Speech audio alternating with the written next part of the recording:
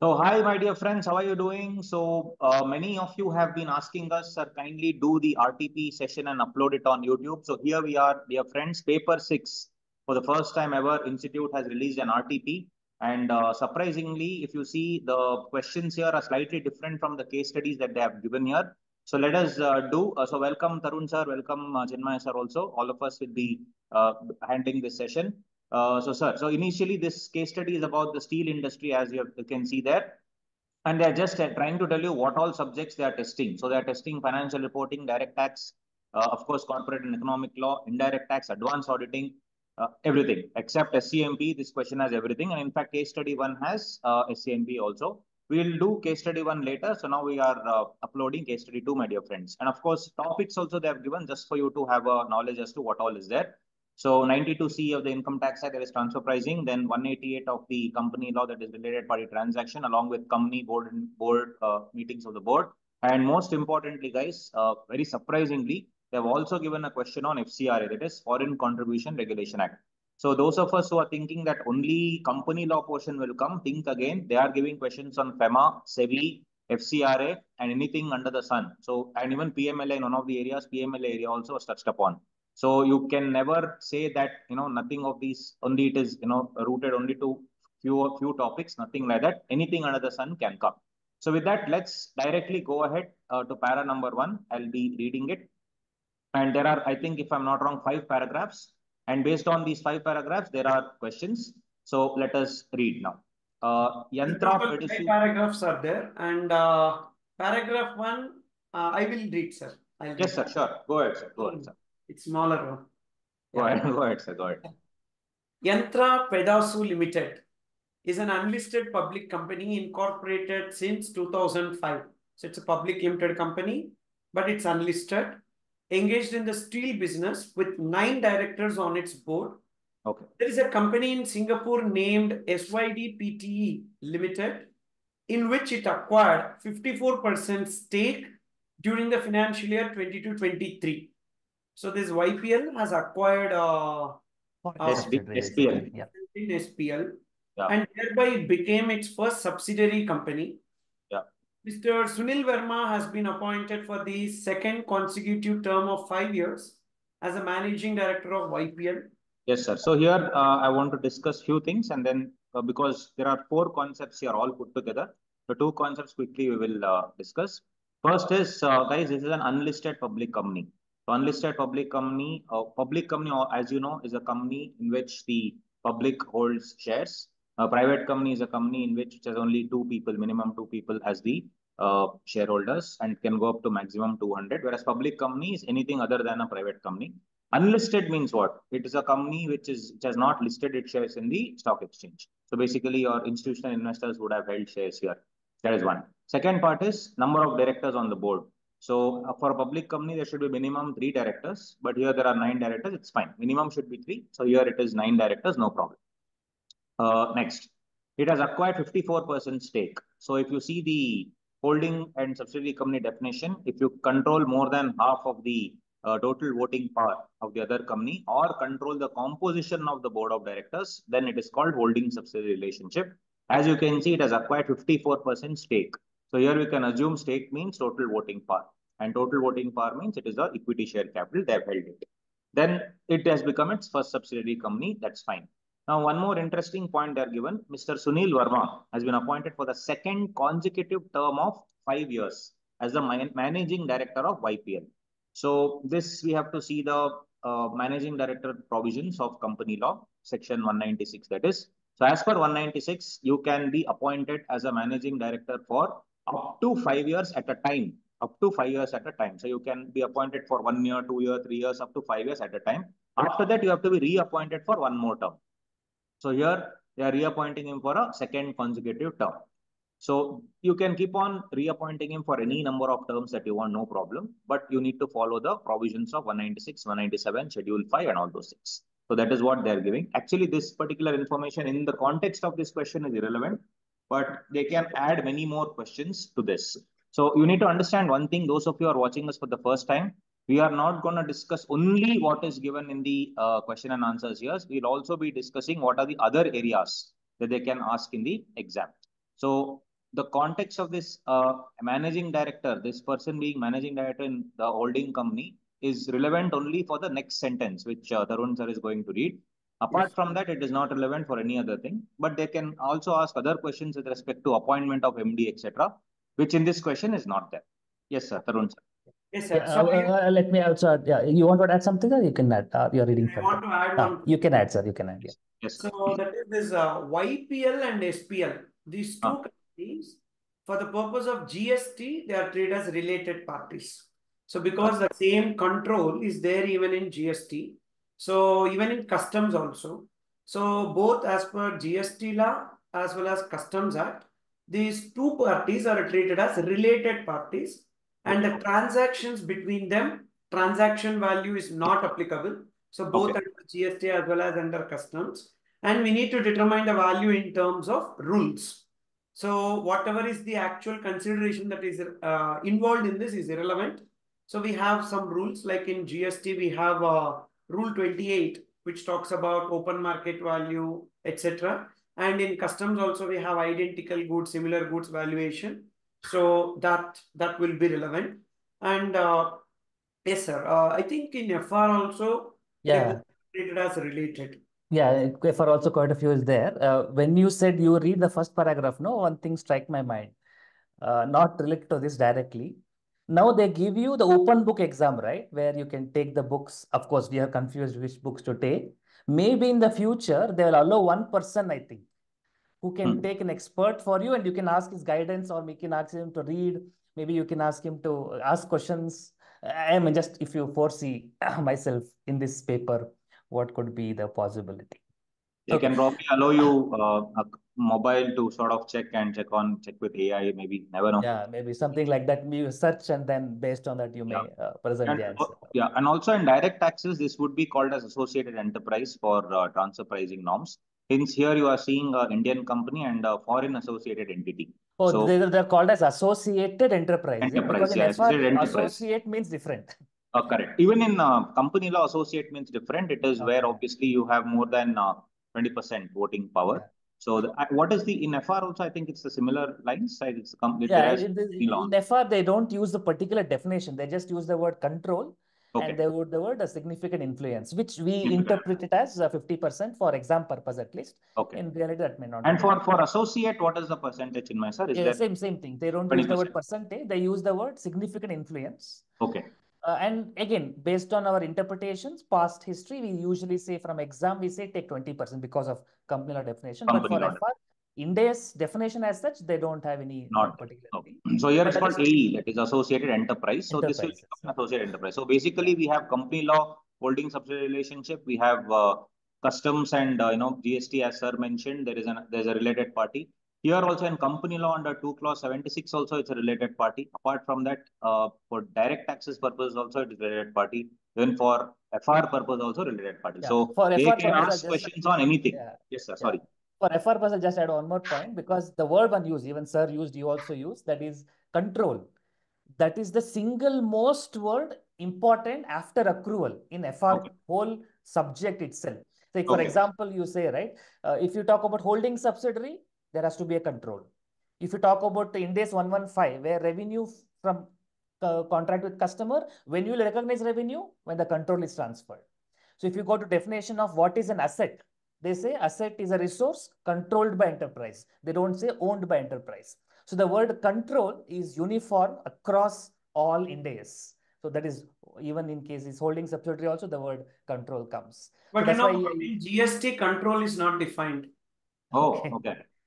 Control is not defined, but they're telling one person directly or indirectly controlling the another is related.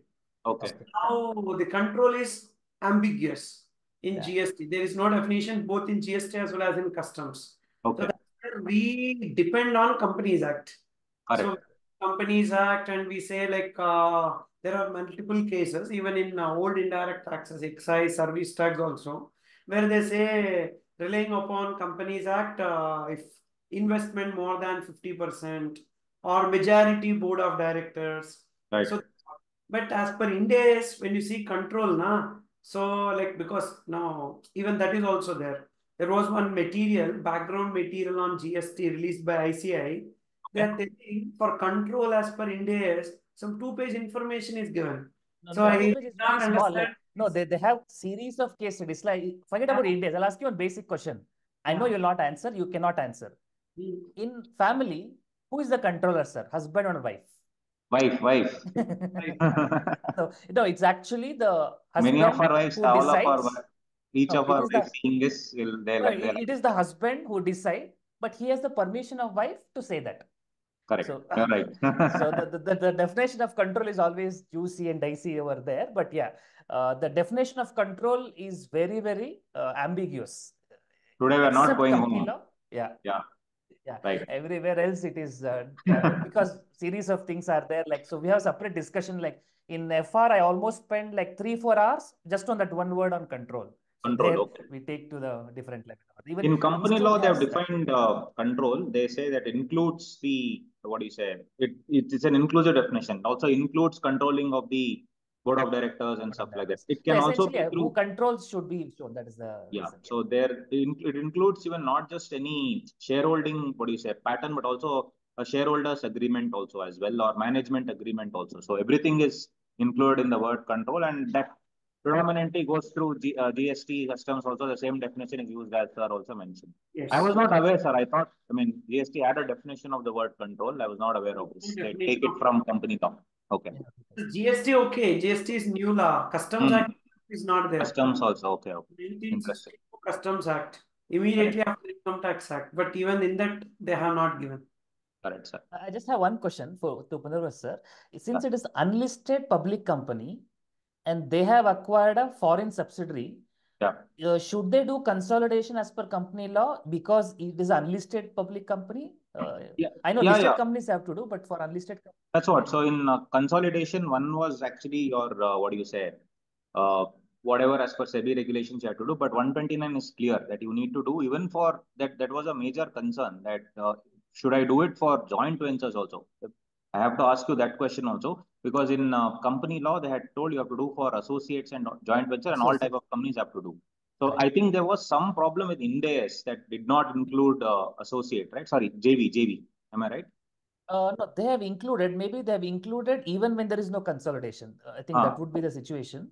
Correct. uh, which basically means earlier they said you have to include associate or joint venture only if you have a subsidiary because this will come only in consultant statements. But Ind AS said whether you have joint venture or associate or joint venture, you have to do a consolidation to include the respective uh, So parties. 129 is clear in that regard. Yeah. So, So, so consolidation applicable uh, Yes. under all, all the things you have to do. Okay. so, sir, next I'll read only three lines. Others anyway related to us only. He has a daughter named Mrs. Sunita. It is Mr. Sunil Verma, who's the MD of the holding company, has a daughter named Mrs. Sunita, who's residing in Singapore since last six years. And she was appointed as director in SPL. Okay, so father is the MD of the holding company, whereas daughter is proposed to be appointed as the uh, what do you say, director of the subsidiary company during the financial year 23-24 at a monthly remuneration of Singapore dollar 60,000, which equals to equivalent to 3 lakh rupees. This is a monthly remuneration. So here this is interesting because um, uh, as per 2 clause 76 of Companies Act, uh, any director or the director's relative happens to be the related party. And here holding subsidiary company also is a related party anyway. And I'm appointing a related party as a director in the subsidiary company. So they have an interesting thing under 188, section 188, subsection 1, clause F, that is called holding of office or place of profit. So it is interesting to know that the daughter here need not hold any office, though they have used the word office, need not hold any office or place of profit because the company law has defined place of profit or office as purely whatever she's earning. So in this, they have told that she's becoming a director, even if she's becoming an attender, I'm saying it doesn't matter as long as she's earning 3 lakh rupees. So here the crux of the issue is the money. So the company law says that under 188, if any of your relatives is earning something, and what is that something? Any remuneration is what 188 says, any remuneration.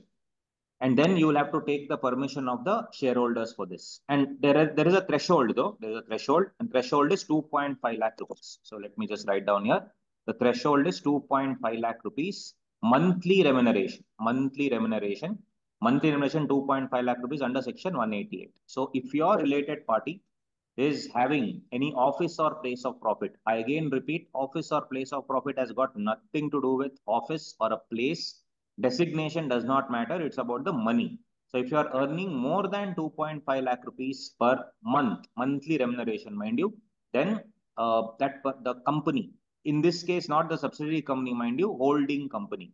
Holding company has to take permission of its shareholders for appointing the managing director's daughter as a director in the subsidiary company. So that is one problem. The same for foreign company also, even if the subsidiary is a foreign subsidiary. Yes, sir. Yes, sir. That applies to all types of companies uh, as long as it's a subsidiary, Indian subsidiary, foreign subsidiary, whatever. Holding. Uh, just to add, that remuneration, what is remuneration? Say, is it like gross, in hand, uh, any, so definition? Remuneration they have defined as you know everything that you can take, except of course the year-end bonus, year-end uh, uh, other things. All year-end payments are not taken, like your uh, what do you say? Your performance-linked incentives and perform performance-linked bonus is not taken into consideration. Apart from that, any remuneration, again, remuneration is defined in 2 clause 78, anything that you can think of. So all emoluments, including uh, taxable perquisites, non-taxable perquisites, uh, even share-based payments, maybe like if they have ESOP. That, that is again a gray area because there yeah. was one case law regarding that. The share-based payments, but then if you think about it, share-based payments is uh, again linked to performance. So yeah, you, you perform yeah. well, then you'll get the you know ESOP or and, whatever. And it is uncertain also. So will, and right. even gratuity and all, you will not know uh, at the time. So they have just said monthly remuneration. So there was one case where uh, this guy was earning uh, 2 lakh rupees per month. But in the end, they gave him some 15 lakhs bonus. So is that uh, office or place of profit? The answer was no, because the law says monthly remuneration. So that is, I mean, though it's weird, but then you can still sort of break this law by just paying him less than 2.5 lakh. And in the end, you pay one bulk payment of 10 lakhs, 12 lakhs, nothing will happen. So that is one stupid provision. But nevertheless, there was a case law also regarding that. So that's the meaning of monthly remuneration. So I'll, let me just cover the uh, FR part also. Yes, yes. So because he's a managing director, uh, he is said to have been the K, K, KMP, uh, KMP. management personnel. Uh, the whiteboard, I think suddenly closed. You have it? Yeah, okay. Yeah. Uh, so he's a he's a managing director. So he's said to have the KMP. So he's a related party.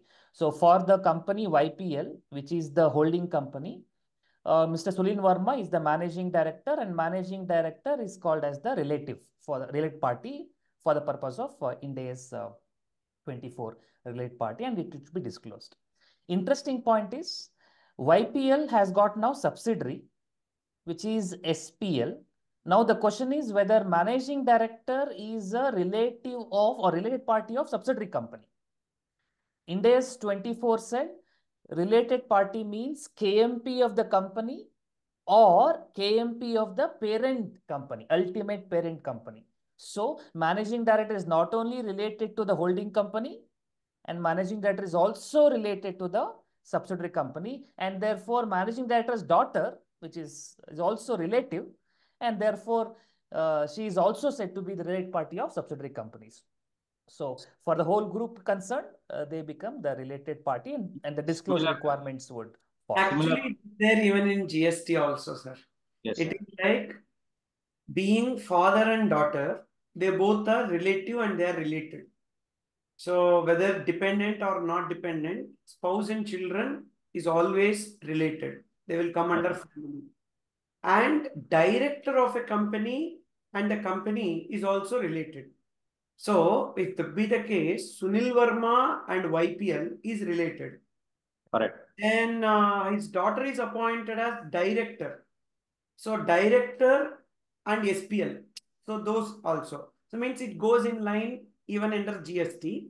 So, like how you said in FR, so even GST also, all these four people are actually related. Same, 2 clause 76 also says the same thing, sir. The subsidiary company uh, for the subsidiary company, that company's relatives or di director or the relatives, and even the holding company's director. So I think it's synchronized across all the three subjects. So in, in this, the one there's one step extra further which goes. Okay. When they talk about definition of relatives, they say relative means spouse, understandable. Then they say children, understandable. and they say children of spouse. Oh, step. And they say domestic partner Okay. and children's of domestic partners.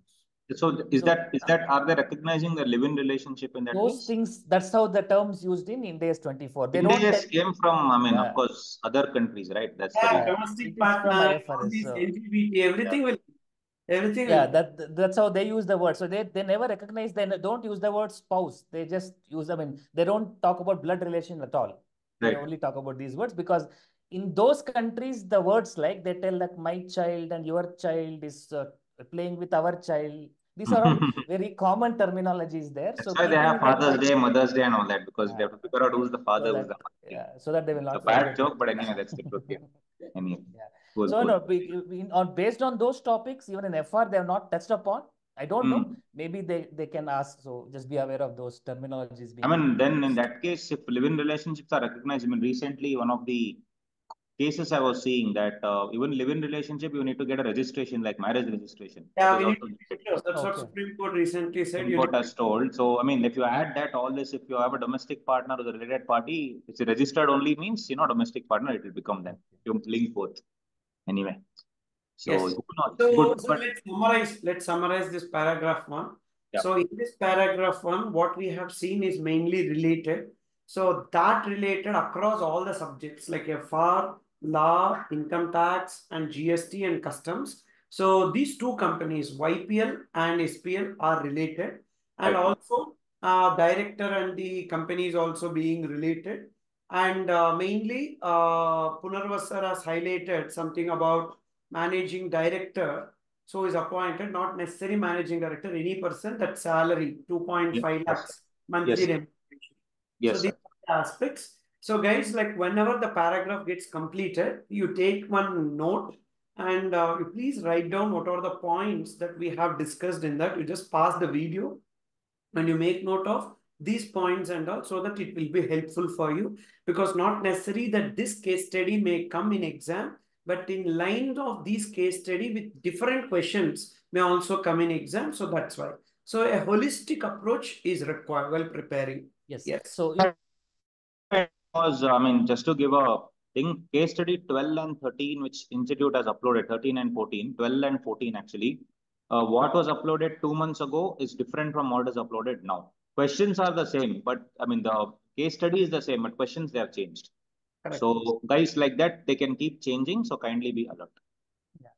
So uh, when you are making a notes, one suggestion, don't make in a continuous paper, one after another. Try to make more structured one. One simple suggestion I can give you is, for example, you're doing for this, you have for, then you give one column for FR, one column for law, one column for income tax, one for GST, and mention the respective section number or whatever the brief points. So you divide the pages in a columnar basis, or if you're writing in Excel or something, you can do. So when you're reading it later, you don't have to read continuously. You read the word relative against law, against DT, against uh, IDT, and against uh, you know income tax or uh, uh, FMA or if something like that. So multiple columns you maintain. Under that, mention the respective elements. Uh, the two common area which I can definitely foresee is uh, related to the related parties. And whenever the director comes, you will see that things are getting connected. So whenever the problems are related to directors, keep this extra point in mind. All subjects will come together and will haunt you later. Okay. Yes, sir. Yeah. So let's move. on to paragraph two and para two is like a very big paragraph let me read and uh, Punarvas sir can explain in this Yes, sir. For financial year 23-24, YPL appointed Chappan and Company as its statutory auditor in the place of its previous auditor. All the formalities as prescribed by section 139 and 140, sir will so, show or throw some light, and were complied with by YPL in relation to such appointment. Also, Chappan and Company made a written communication void a registered post acknowledgement due to the previous auditor before accepting such appointment. Yes, sir. So, yes, sir. yes, sir. So here, this is the talking about uh, appointment of the statutory auditor in place of the previous auditor. So guys, when uh, generally each auditor is appointed for five years, as the new law suggests, that is in 2013, which came. The concept of uh, what do you say, rotation is also there for listed companies and some other unlisted companies as well. So here we are, let's not talk about rotation because the question does not talk about it. But in case they ask also, you can think about the rotation aspect. Either way, even whether rotation is there or not there, even for example, even for a private company where rotation is not applicable, every auditor cannot be appointed for any number of years like it was there in the previous, uh, you know, before 2013. As of 2013 law, every auditor or audit firm has to be appointed for a maximum period of five years. And it is not up to five years like we saw in MD. MD can be appointed for one year, two year, three years, but statutory auditor has to be appointed for five years at a time. Five plus five plus five plus five like that. But if rotation is applicable, then it's different. So here what has happened is generally uh, you can replace an auditor at the after five years. So maybe they did not like the previous auditor. So YPL has appointed this uh, Chappan and company uh, for as the new auditors. Now, when a new auditor is being appointed, Chappan and Company has to uh, do certain things as per auditing, uh, as per professional ethics. One, they should ensure all the formalities of 139 and 140 are followed. So what is 139 and 140? First of all, the previous auditor, uh, you need to ensure that he has been, if he is removed, they have not given whether they have removed or not. So if it's removed, then all the removal provisions of 140 subsection 1 has to be followed. The special resolution, uh, central, that is regional director's approval, all that you need to check. In case he has not been removed, so 140 subsection 1 removal is removal before expiry of the term. So I told you, you can appoint for five years. Before five years only, if I have to throw out an auditor, let's say first year, second year, third year, then I can go to 140 subsection 1. On the other hand, on the expiry of the fifth AGM, that is five years, on completion of five years, if I have to remove an auditor, that is removal on expiry of the auditor's term, then I have to go to another section called 140 subsection 4. So in this question, they have not given whether it is removal before expiry or removal on expiry. So you can expect questions on those lines. If it is removal before expiry, and if they give you a theoretical question as to what the new auditor should do, I should write the provisions of 140 subsection 1. If it is removal on expiry, then I have to follow 140 subsection 4. So all the entire procedure is there. You have to give a special notice and all those things. So special notice has to be given, uh, you know, not earlier than three months, not less than 14 days. Those are the formalities. All the formalities means that only. Assuming it is removal on expiry. The old auditor completed five years and Chappan and company is the new replacement.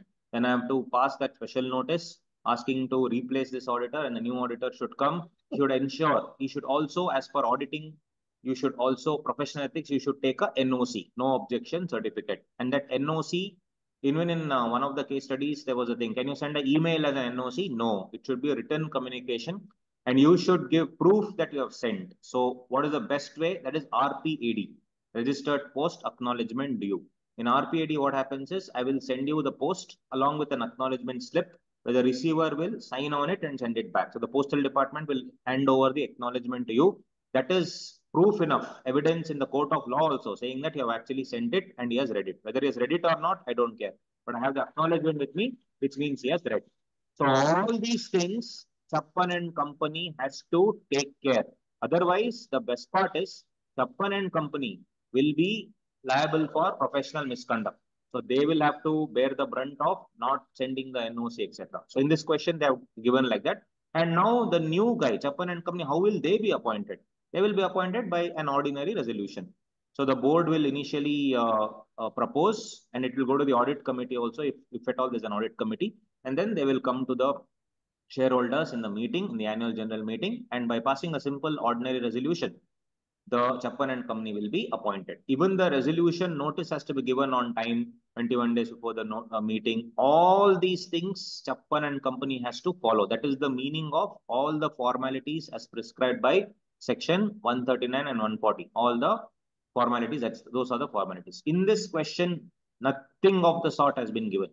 So whatever I told you now in this question is not there. But they can change the question and they can give you other questions. You can write down what are the formalities to be done. What is the professional misconduct points? What will, what will happen if they don't do all these things? Those are the other questions that they can come. So this is the thing, sir. They have not given any question on it, but these are all the items that we can take so, care of typically for financial year 23 24 they have to be appointed means it would be in the agm of 20 to 23 right it would be in the no no no and for the financial year 23 24 so agm will happen uh, you know, in September 24. No, but but the AGM for appointment of director has to be previous year, no? It is for the financial year 23 24. So they have to do the audit, they have to be there at that time. So in the previous AGM, they would have appointed for the financial year 22 23. Yeah, yeah, you're if, right. If they have to audit 23 24, like in the AGM conducted maybe in the month of July, August 23, they would have been Hmm. appointed. Right, right. You're right. Yes, because obviously everything you have to do the audit, etc. by end of 24 March means by April, May you should finish the audit. You should start. So should, they would have Start. appointed yeah, prior to that. So in, in case if some question is asked, like date of sending the notice, those kind of things, if they are Good point. mentioned, Yes. yeah, they have to keep the But the AGM of that uh, first AGM for this Chappan and company will be September 24, where they'll yeah, be that is where they, they, they submit their uh, audited report. Audit in the report. Perfect. 20 Correct. Yes. yes, sir. Next, pa next pa part in this, CA Kailash Chappan, one of the senior partners of the firm was appointed as the engagement partner by Chappan and Co. on such audit assignment of YPL. While conducting the audit of YPL, CA Kailash observed that there were certain accounting estimates made in relation to certain items of financial statements that might give rise to significant risks and thereby he performed substantive procedures in accordance with the requirements of SA 330. That is the auditor's responses to assessed risk. Correct. Related to the audit. Yeah. So, yes, sir. Yes. So, sir, basically, first of all, the auditor has to plan the audit. Uh, and then, of course, he should assess all the risks. So, all that planning, assessment of risk, and acting on those risks is covered in SA 300, 315, and 330. So, after checking the risks, whether you know the internal controls are strong and the other things are covered or not, he will now uh, check the estimates. Like, for example, a simple example in an insurance company, the best uh, accounting estimate will be uh, your done by your actuary. That is your actuarial valuation. Simple words, how many people will die this year? Next year, how many people will die? What is what will be my outflow from this insurance company? What will be my outflow? So that is a simple accounting estimate that they have to do. So now think as an auditor, I, I do not, I have not studied actuarial valuation. Actuarial valuation is considered one of the toughest in uh, in, in the world. Am I right, Chinmay sir? I think uh, you had also. I, I wrote the no, I wrote the foundation, the entrance exam. Ah, Then I thought the result will come. how to search for website. They simply send an email telling please find attached list of people who passed. If your Okay. name is there, you proceed to next level. Otherwise, try again. So it, it is in those very few hundreds actuaries will be there, and more often than or not, before you come even complete the actuaries, you will get some job offer and you end up doing those. So Actually, if I'm not wrong, there are uh, 15 papers, 16 papers, just to digress in that. Even if you do seven, eight papers also, you'll get an excellent job. Uh, because Yeah, and I, I after for passing the foundation, I ordered one book, then it is still there. I'm not, I'm not looked afterwards. Uh, but So if I'm not wrong, there are just around, I mean, maybe seven, 8,000 actuaries in India. That's it. It's a Yeah, very, correct. so now as a, why I told you all this, now I am an auditor. How will I know how many people will die? That is something that you will know. You, you are an expert in maths and statistics. So you have made an estimate. Now I should check whether that estimate is correct or not. How, would, how do I check it? So I need to speak to the, uh, what do you say, the expert there, the management's expert and expert here will be the actuarial valuation uh, guy. And I have to speak to him and saying, sir, what are the assumptions that you have made? So I'm giving my practical experience because we were we were the auditors of uh, MetLife. There was MetLife that time and ING Vysya as well. Two insurance companies we audited during my uh, articleship.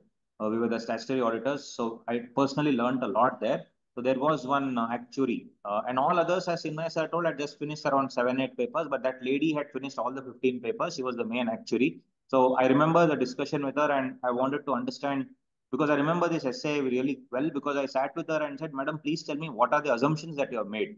So she gave me an Excel sheet which had uh, pages and pages of data, and for the life of me, I couldn't understand those calculations. So I had to go to her and find out. So then I came to know they check something called as mortality rate. That is the rate of death in India. So during COVID, the mortality rate was higher. So obviously there the provisioning should be more. Then the morbidity rate, the date, the rate at which the in India people get diseases. So that depends on demographics, geographical area, and many, many things, very, very complex things. Now, as chartered accountant, as an auditor, I will not get into how she did the calculation, but I will get into the assumptions. So basically, as per SA 540, what I need to really check I have to base, based on the first I'll do the risk assessment and my entire audit procedure will be based on the assumptions. Is my assumption, I have, I have a set of assumptions, are they matching with the management assumption? And what other alternative assumptions you have made? And what are the most significant assumptions that you have made? And more importantly, I should only check the reasonableness of those assumptions. So generally, if the mortality rate is there, you can get this data from the Statistical Research Institute. There, the mortality rate they've given as, let's say, 30%. But this lady has taken mortality rate of 67%. Is it reasonable or not? That I should check as an auditor. So basically, uh, uh, I'll just add one point to that. Yeah. Uh, because they use the word accounting estimate and this yes. Ind AS is full of estimates. Correct. Yeah, Correct. about 80% is based on estimation because the one word called as fair value where they do present value of future cash flows. Mm -hmm. So the moment you talk about present value, so many assumption kicks in, be it from the amount of cash flows or simplest thing being discounting rate. Okay. What should be the discounting rate to be taken? Should correct, I take the FD rate? Should I take the you know um, stock market rate, or should I go for AFM and do the CAPM model discounting rate? So those right. kind of uh, assumptions, yeah, definitely there will be a lot more uh, to be tested out. No, very good. So basically, that's what I'm trying to tell that the estimates will vary from management to management. So I need to do two things here. They have not given in the question, but two other things. One is collect the management representation from them telling them what all you have done. That is SA 580, collection of management representation. Apart from the written representation, apart from that, I also need, if at all I am uh, not very happy with uh, this particular valuation, you know, done, I can get my own valuation done from outside to just to check whether the uh, assumptions taken are reasonable or not. So that is using the work of an auditor's expert. So management expert is that lady who is employed so if I am not happy with the assumptions, I can hire one more actuary outside and I can compare their assumptions, whether it's correct or not, and give a proper threshold. My entire basis of materiality, which is there in the next para, which is SA 320, uh, depends on this. So if you don't mind, I'll write the I'll read the next para and then I'll uh, connect it. Uh, before that, one small question. Yeah. They use one word called as substantive procedures. So right. would you like to throw on that? Like what what yeah, is the difference? So basically, it is your entire uh, sampling technique, materiality, and the entire audit procedures. So, for example, there are two things. One is compliance procedure. One more is substantive procedure. Just to throw some light, compliance procedure means what? Like, for example, if you go to an ATM, uh, now I'm, I'm, I'm throwing this question to Chinmay sir only. If you go to an ATM, uh, what, according to you, should be their internal controls to ensure that cash is not stolen? Very simple question. So what, according to you, should be there? Uh, the the password management it should connect to my card number properly correct uh, that there will be securities outside security right. there, there should be a cctv that's all simple yeah. those are called compliance procedures internal controls whether the internal controls are there or not substantive goes to the next level this is not about internal controls here i'm talking about whether it is being recorded in the system properly and whether there are sufficient checks by the management to ensure that there is no defalcation of cash, embezzlement of cash, mismanagement. All these are substantive procedures. So okay. when I'm doing my planning and risk assessment under 315 and 330, this one, this auditor's response only is that first is I will base it completely out of my compliance procedures. That is the strength of the internal controls. And then I will base my substantive procedures based on the strength of the compliance procedure.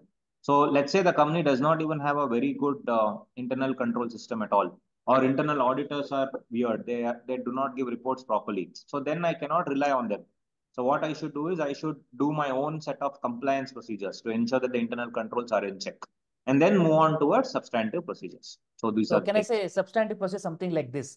Check all the transactions where invoice is crossing 10 crores, something like that or can I say, uh, I would like to verify all the transaction that took place on last day of the month. Because in my experience, yes. what I've seen companies, hmm. they want to show report to the, the uh, venture capitalist fund, the management, they want to show they are achieving the targets. Correct. So on 31st, they show more sales and first of next month, they reverse it. Correct. So actual cash flow is not happening. So I have observed that on 31st of every month, there has been spike in sales. Hmm. And on first of every month, there is a return spike. So Correct. maybe these kind of substantive procedure one can observe. But whatever you said, Chinmay sir, is a substantive procedure with materiality. Because when with you said about okay. 10 crore, you have used something called materiality, which is given SA 320.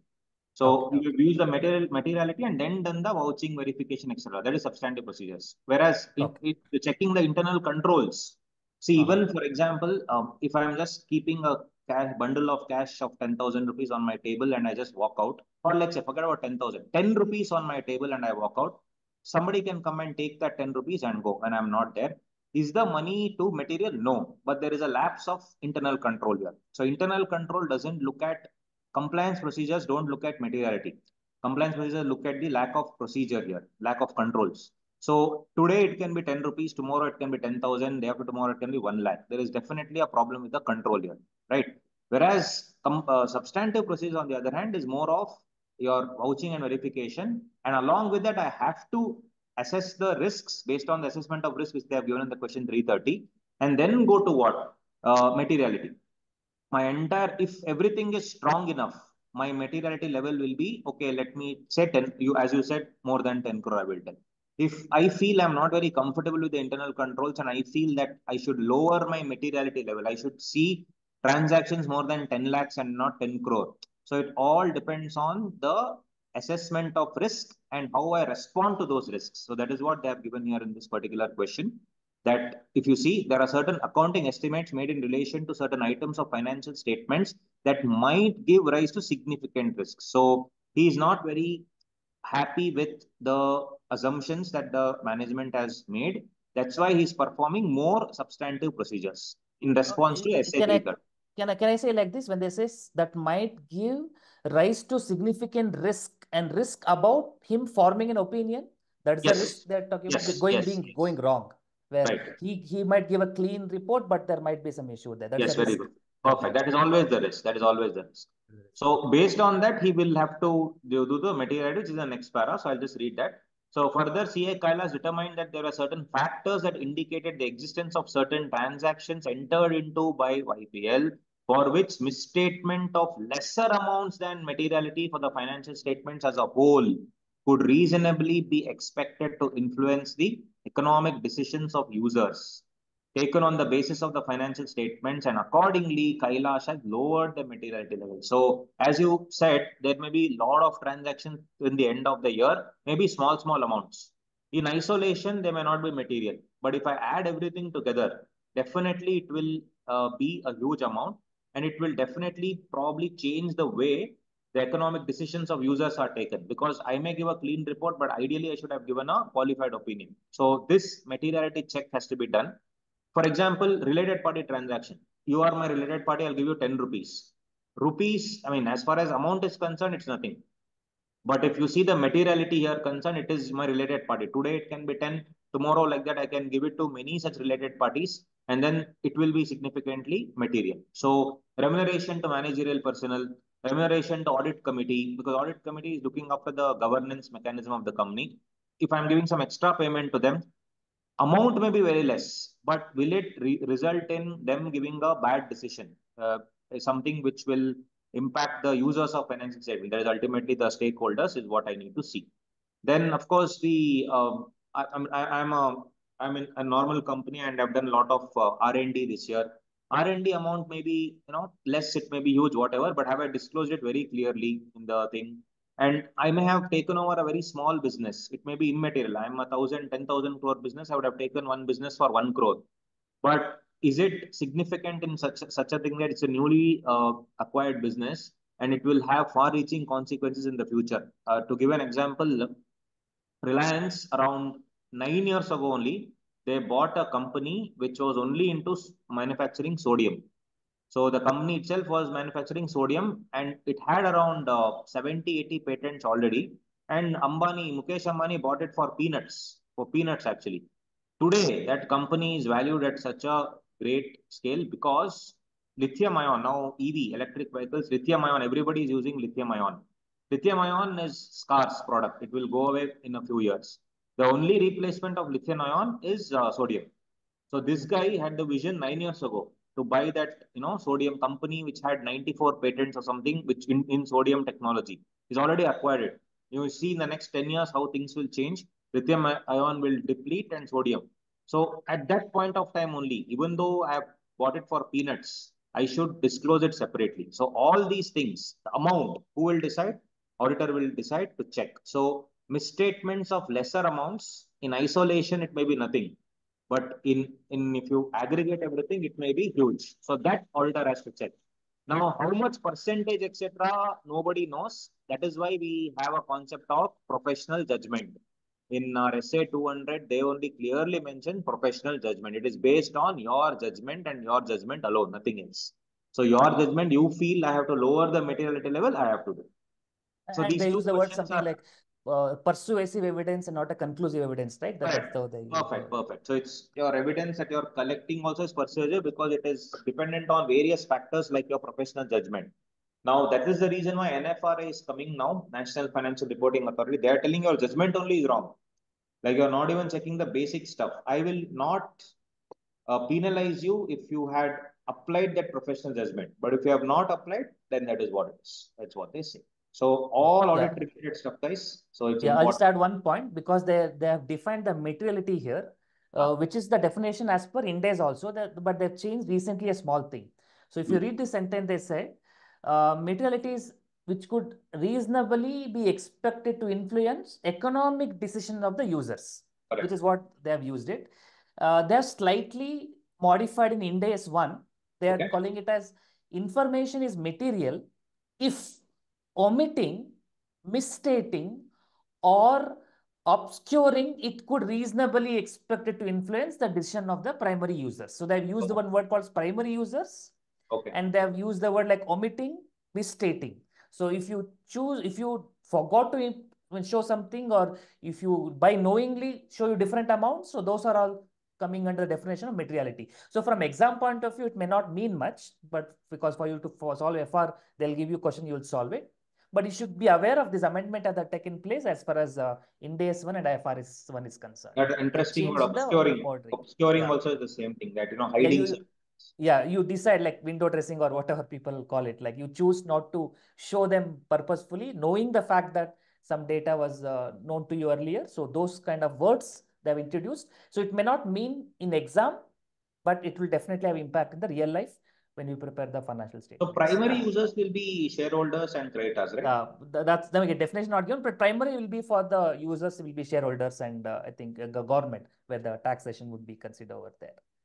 Yeah. So uh, one more small example I'll take. Uh, again, uh, small, slightly different thing. You may also give your opinion. Yeah. So if a company sells goods at 100 rupees, but to acquire customer, they're giving a discount of 40 rupees and they're selling at 60 rupees. Now the question is, what is the turnover of the company? Is it 100 or is it 40? Uh, 100. 100 only. Uh, Am I right? But they're giving discount, no? But when you give discount instantly, they're not collecting the like money. Trade discount sort of a thing. Trade discount kind of thing. But uh, what they're doing is they were paying on 100 GST. Hmm. And they're add a GST 100 plus 18 minus 40 rupees. GST purpose it is 60. Ah, no, no, they were paying GST also. The company what I'm trying to talk about. Oh, they are paying they GST. Paying 100 on that 18, then 40. Because they the the reason why they're not first they were not aware of the law. Second, they could show more sales. No, they mm. can. These are the initial companies. They can say valuation they can get. They can do PE valuation. I'm making more sales. My growth is happening. Then we have to convince them that it is not the case. You have to show only at 60 rupees and you get the benefit of GST on discount also. So those mm. are the risk that you might have taken. So when you go and check, when they give you tally report, SAP report, just don't blindly take them. Look at these possibilities. Are the discounts shown at net basis or gross basis? And is there a policy behind it? And these are all the risks which could be significant, which uh, Punarvas were mentioning earlier. You can also give these examples, especially in auditing paper when you're writing in examinations. Interesting. yes. Yes, because actually what Punarvas sir said is isolated if you see it may be a small amount but comprehensively when you see overall so this is going to become a big amount so yes and even accounts wise we have something called as contingent liabilities mm. where it is yet to be decided for example mm. for delta corp uh, GST case happened, right, for the gaming, which yes. couple of months back. The amount of notice what they received is more than the market cap of the company. company. So if, if they have to make a provision, company value would be negative. So those are the significant risks which whether they're provided or not, we have to check. Perfect. And also your all is online gaming recently in the previous budget, they uh, brought it under the tax net also. Correct. So all the earnings from your uh, online gaming, your all the your even Dream even 11. Dream Eleven got some forty thousand Dream 11. crores. uh, forty thousand crore, yeah, yeah. Yeah. Whoever is associated with BCCI, everyone counts, sir. Paytm, Ah, yeah, yeah. Dream Eleven, all those things. That's that's curse, I think. Curse. Curse, curse it, BCCI. Yes. Yes. So- So, Chinmay sir can read the next two paras Yes, because it's I'll- related to GST and Yeah, Tharun sir. I'll, Yes. re- I'll read it and yeah, Tharun sir will Yeah. explain. So apart from conducting the audit assignment, Mr. Kailash also used to solve the concerns raised by the accountant of YPL with respect to GST and income tax matters. One such concern raised by the accountant to him was the uh, uh, respect to ITC availment the GST, which is briefed as under. I'll read that part also. The balance of ITC, ITC is not the, you know, uh, ITC limited. It is uh, input tax credit. They can use the shortcuts like this, but I don't know whether we can use in exams. The balance of ITC with YPL after discharging of GST liability for April month was rupees 60 lakhs. Eligible ITC reflected in GSTR 2B with respect to May month of YPL was 56 lakhs, whereas input tax paid by it on the invoices received during the month of May was rupees 75 lakh, and the output tax liability for the month of May was rupees 110 lakhs. So he was not sure about the amount of ITC to be availed for the month of May, for which he consulted CA Kailash, and after following his advice, GST liability for the month of May was discharged by YPL fully throughout, fully through the balance in electronic ledger, uh, electronic uh, credit ledgers only. So I'll give you a suggestion for this. So take the suggestion of Tharun sir. so you take it. Yeah, yeah, right. So actually here there are multiple aspects which I wanted to explain one by one. First one is section forty-one read with rule thirty-six sub rule four. So what does it says? Previously, when Arun Jaitley has given ITC, like uh, the concept of GST was so nice. So what they said is that a seamless flow of credits, like whatever you buy on that you pay tax, you take that and adjust against the tax that you need to pay in future. This is how it started.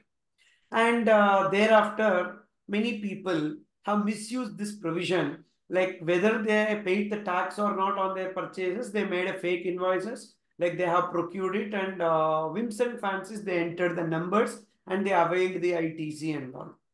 Then the next thing that came was the matching.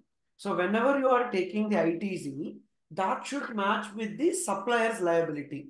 So if it is not matching, then you cannot take ITC like that. Then they have brought in the concept.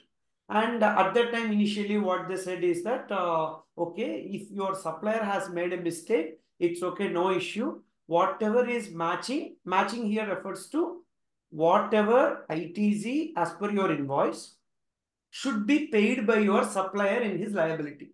Hmm. So that is matching. So even if it is not matching, we are giving you 20% allowance. You take the extra credit. Gradually, Chechi came, like Nirmala Sitharaman came. And uh, so she reduced it to 10, then 5. And now in this rule 36 of rule 4, only matched ITC can be availed. Okay. Only matched Zero ITC. percent. No, no deviation allowed. No deviation, no error, nothing. So now, why it will not match? Three reasons. Reason number one, my supplier has not filed GSTR 1. So. GSTR 1 is a return which will be filed by the supplier. From GSTR 1, the data will come in GSTR 2B. So GSTR 1 is not in my hands, my supplier hands. And GSTR 2B, that is as a recipient, so I will get only 2B. Whatever And it will be filed by tenth or something, right? By GST only Yes. will be filed by GST tenth. 11 will be filed by, GSTR 11 will be filed by 11th of next month. Eleventh, okay. 11th of next month. Whereas GSTR 3B, we will get it, 2B, we will get it by 13th of next month. Okay. Today Two days, they'll take it for processing. So Okay. yes, so by end of today, like uh, 13th, we will be getting this. So this ITC in 2B, whatever is there, that much only I can take. Now, why will there be a difference between the ITC as per my books versus ITC as per GSTR 2B? Because my supplier has not filed GSTR 1 on time. That is by 11th he should have filed. If he has not filed by 11th, if he filed it after 11th, this will come in next month 2B. So not, you know, for example, January GSTR 1, he should file by 11th of February.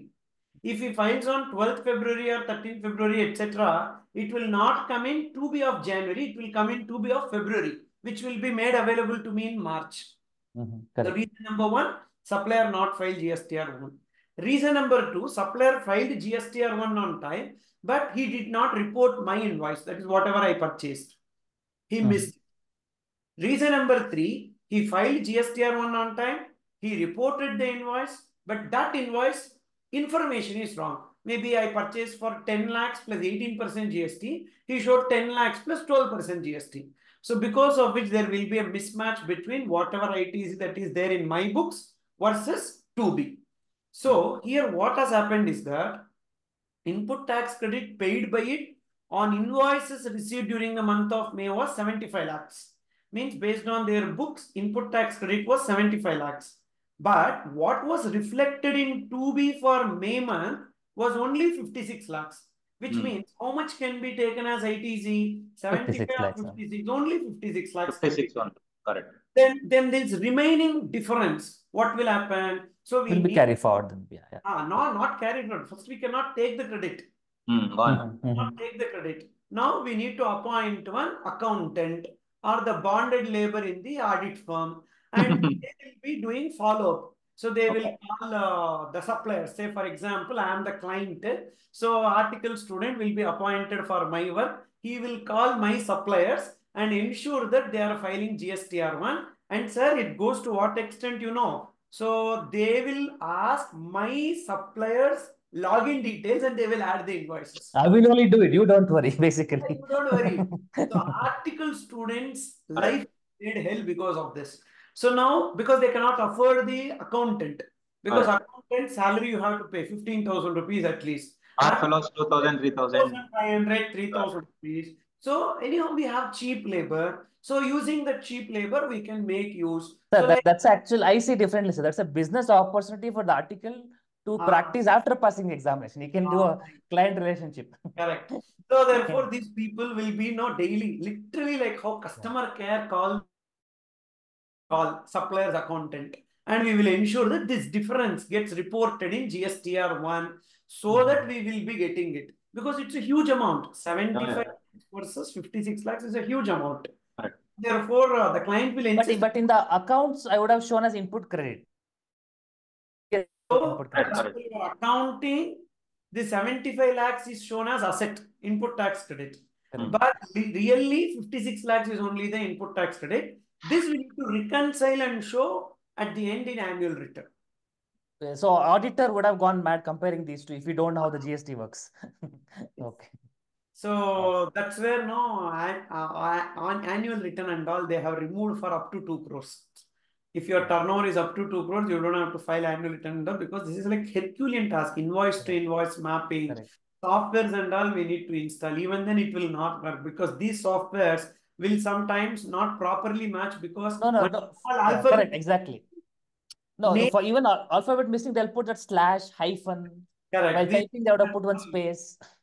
Because technical guys will not understand what we need. They develop software. In that software, they keep a number of validation tools. So this, this is the challenge. So here in this case, for this person, because they asked one question. So they are not sure about the amount of ITC to be availed for the month of May. So only 56 lakhs can be availed for the month of May, but not hmm. 75 lakhs. Okay. And uh, one more question is this. GST liability for the month of May was discharged by YPL fully through its balance in electronic credit ledger only. So here if you see, already some opening balance was 60 lakhs. Correct, correct. Already opening balance was 60 lakhs. And And now as per, uh, as per this uh, rule 56. 36B, uh, section 41, we can take only 56 56. Yeah, 56 total lakhs. we get 116. Ah, so therefore, one one six lakhs is the input tax credit available. Correct. Whereas Payable is 110, I think. Yeah. their liability is 110. So their question is correct. Sir, I have 116 lakhs. So I need to pay 110 lakhs. Can I use fully my electronic credit ledger? Now, again, there is one more rule which has restricted this. Rule 86B. This, This rule is, this is not crime, sir. This is cruel. cruel. Now, I'll tell you what cruel I'll tell you in this. Rule 86B came during COVID. Actually, what happened before COVID, we made lot of purchases.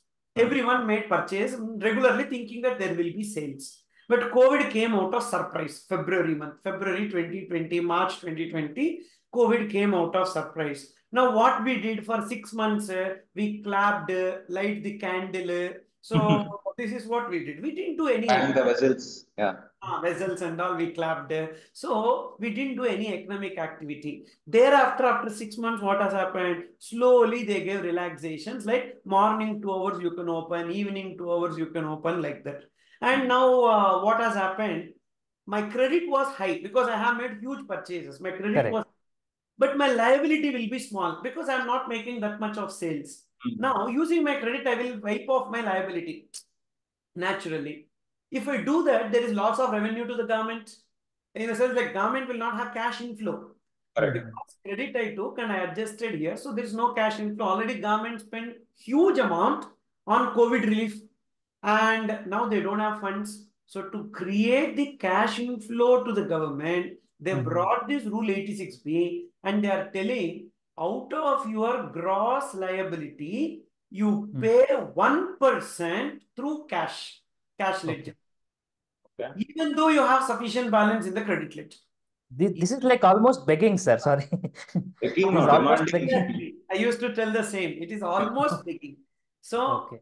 yeah, give one rupee, please, like that. So, one percent of the gross liability they are collecting from cash ledger, even though I have sufficient balance in input tax credit. So, this input tax credit to take itself, how much challenge I had. So, I need to match, then only I take. This 56 lakhs is my money, my bloody money. But Hmm. to use this money also, there is a restriction like 1% I have to pay through the cash ledger. Sir, Ah. that rule is still there, sir. Even after COVID, they could Ah, have. exactly. No. This is criminal. This is cruel. You brought it. There is a reason to bring it. But what is the reason to continue it? So, There's, like this, one more cruelty was there. those who are Yeah. listening to this, those who are listening to this, don't comment. Tharun sir is Yeah. against BJP. There is nothing related to BJP or Congress. So even if it is Congress or BJP, the fact is fact. And the policy which we are talking about. So I'm not taking sides. I'm just explaining the scenario, what is happening today. Why traders are getting affected is what I am explaining. I'm talking on behalf of traders. And of course, because of this, I will not get claims also. So I'm just telling. That's what, sir. Otherwise, that's a very sensitive. The people will tell this fellow is right, uh, left, the center, and all that. So I'm Yeah. not, I'm ne- neither right, left center. I'm not Indian also. Leave it No, now. no, we, we are we are Marxists, sir. We Marxist. We believe in Marx. We want Yeah. Marx for students. That's So- all. Uh, oh, that Marx is good, Not good. Marx, yes. That's Then they'll tell Karl Marx and all that. Yeah. Ah, Yeah. Not, not communist, not that. So we will, we are talking about this. So coming back to this, cash. Uh, just, just to add, uh, one, because you told that thing, not directly but indirectly, uh, when the stock market transaction happening for a long period of time in India, capital gain tax was not there, neither long term, not short term, especially long term. So they have introduced this concept of STT, security transaction tax. Correct. Basically, because capital gain tax was not there. Now you Right. have short term capital gain, you have long term capital gain, you have STT also. STD Correct, also. Correct. Correct. That's, that that's is- the fun in India. To bring a law, there is a reason. But Hmm. to Yeah, continue the law, there is no reason. there's no reason. Yeah. Because the opposition should be strong. Correct. Opposition should speak now, something they need to understand. If they are not understanding anything, what we can do. So here, this is a fate of traders today. So this example literally suits here, even though they have 116 lakhs, but they cannot use entire 116 lakhs to pay 110 lakhs, which means 110 lakhs into 1%. What is that 110 lakhs into 1%? 1 lakh 10,000. They have to pay by cash and remaining amount only they can adjust from the credit ledger. Yes. Gross amount, not even net amount. Okay. Yeah. Gross 110 lakhs. even more higher. But this is applicable not for all, only for those people whose monthly turnover, Hmm. monthly turnover exceeds 50 lakhs, which means annual it is like 6 crores. Mostly majority are covered. Mhm. Crores are easier nowadays. 6 crores turnover. We are talking about 200 crores, 300 crores, lakhs of crores. So this monthly more than 50 lakhs, it will be applicable. Who knows? Lot of uh, you know CA faculties in North uh, are crossing this turnover of monthly 50 lakhs. So Yeah. we should also cross, sir. Guys, with your blessings, we will also cross sooner. So touch wood. So therefore, you know, this way, if monthly turnover is more than 50 lakhs, for them only 86B is applicable. Okay. So just one more small thing, not directly related. Uh, these construction companies, no, when they especially sell it to the individual people, they used to ask, do you want uh, with invoice, without invoice? Obviously, individuals say, I don't want invoice. So these construction companies' input credit used to increase, output credit was not increasing at all Yeah. because they're not showing That's why they sales. removed input tax credit for construction companies. They Construction is not there. Yeah, Nirmala ma'am is there na. I don't know about anything, but this and all, she's very intelligent. Very, Yeah, very intelligent. So maybe she has appointed one team to identify who are all evading. Hundred Exactly. percent. She took the cement and pasted those loopholes. So it is like, no, what has happened is that all construction companies are doing this. One Correct. shot, one stroke, I'm reducing, like rate is reduced to 7.5% without ITC. Means Without don't take ITC. ITC. And rate was 18% with Now it's ITC. seven and a half percent. Ah, now 7.5% without ITC. Now buyer is thinking there is a reduction in rate, but only Hmm. we will tell there is no reduction in rate actually. When he is not getting ITC, he will add it to the cost. Mm. okay, yeah. So, So but when, did when did it came, sir? Approximately like when? 2019. First came 19, from okay. 2019. Okay, okay. Exactly, that was a sixer during uh, election. This, this Okay. elections. So what Okay. happened is that so this uh, amendment came and every buyer thought, wow, 7.5%, great. So 18% to 7.5%. But this with ITC, without ITC, no idiot will understand here. Correct. So Yeah. Or they thought it is like that. They started putting pressure on the builders. Builders under literally cried. Their ITC is gone. Hmm. And customers started putting pressure. Why are you not reducing the price of the flats? Correct. So it's like literally Right. it is loss for them. Correct. Yes. So guys, see if you see just five lines, so many, so many things are there and uh, beautifully explained by Tharun sir. This is the beauty of IBS. Uh, it's gonna any question can come from anywhere, so we need to be very, very careful about it. And what I explained is only from this aspect, sir. What really whatever they asked. This these two are really tested here in the question. No, no. What I'm trying to tell is, sir. I mean, su such a big explanation only for like three, four lines. So Ah, exactly. Yeah, yeah, yeah, yeah. anything they can ask, like every line we can speak for us is what I'm saying. So they can ask anything under the sun, Correct, correct. which is what I'm trying. Yes. So para three, let me But, read. but the intensity, sir, actually no, this is one chapter, sir. Hmm. This only matched ITC can be taken is one chapter. One chapter. Hmm. Input tax credit chapter. Hmm, hmm, And hmm. this rule 86B is actually another chapter, payment process chapter. So actually in I IBS itself is conglomeration of chapters. All sub all subjects. Hmm. In that see multiple chapters also they are connecting. Yeah, yeah. And in law, I, I thought only company law, sir. They are giving FEMA, SEBI, there are This PMLA, itself FCRA. FCRA is there. FCRA, FCRA. That's what I'm saying. So, I mean, economic law also they are adding. It was only company law is that actually what I genuinely thought before starting the subject, but everything is us. So, Maybe you know, if you have to put this on a slightly positive note, I can say like those people who pass this exam in coming out would be better than maybe my quality when I pass the examination. 100%. That is 100%. like that, sir. Always in CA it is like that. The fresher is in more demand than the experienced. Very true. So because they, they they learn many things, latest things and all. So that's why you know CAs and all. It's like as you grow older, your earnings will increase. No, nothing of that sort. So people who are younger only they are earning nicely than the old people. Correct. So, guys, uh, some of you, one of you had commented, which we recorded again. I'm just again telling because it's going on YouTube, saying that uh, you have to discourage this subject, and you know, you are. Let's see if one of you can write all the subjects, etc. Or basically, the idea of this entire IBS was each of us are expert in our own area, and we want to come together and learn from each other, and also discuss stuff with you. And I just want to tell you that ultimately, this is the truth. We, you are becoming global chartered accountants and rather than fighting this subject, embrace it and study. As simple as that. So there's no point in um, commenting like you only write the exam. Can you write the exam alone? We have already passed. I'm sorry to say, but we have already passed. And as I'm, as Chinmay sir already mentioned, you guys are way smarter than us, than we had passed. I always tell it in class. You guys are way, way smarter. And exactly, don't compare with us because tomorrow Yeah. you're going to become successful and you're going to earn lots and lots of money as Yeah, you're going to pay 40% of your earnings to us. So then why why you compare uh with yourself with us? So we are there to provide you as a ladder. We are ladder, always a ladder. So but you're going to climb up. So therefore you think about yours and don't tell like uh, Tharun sir should learn all the subjects and uh, hey, uh, Punarvas sir should all learn. No, boss, I cannot do that. Already see, completely gone. Then what? so there is nothing left here. So please try to understand. Yeah. Uh, yes, for the fun of it, guys. Yeah. So I'll, let me take uh, para number three because uh, it has again CSR aspects. So guys, see, we have already finished Sir, more I'll than. read this, sir. I'll read. You can throw Yes, some. yes, yes, sir. Yes, sir. Please go ahead, sir. YPL provides donation every year as a part of its CSR activities. Hmm. A charitable trust named Shiksha Kalyan Trust. So about this CSR, Punarvas sir will throw some light Yes. because already we did one case study. Yeah. In that, uh, in detail, we have covered CSR, but few aspects of the CSR will be touched upon. Engaged in activities of providing education to poor children. The average net profit of YPL for the past three years was 88 crores.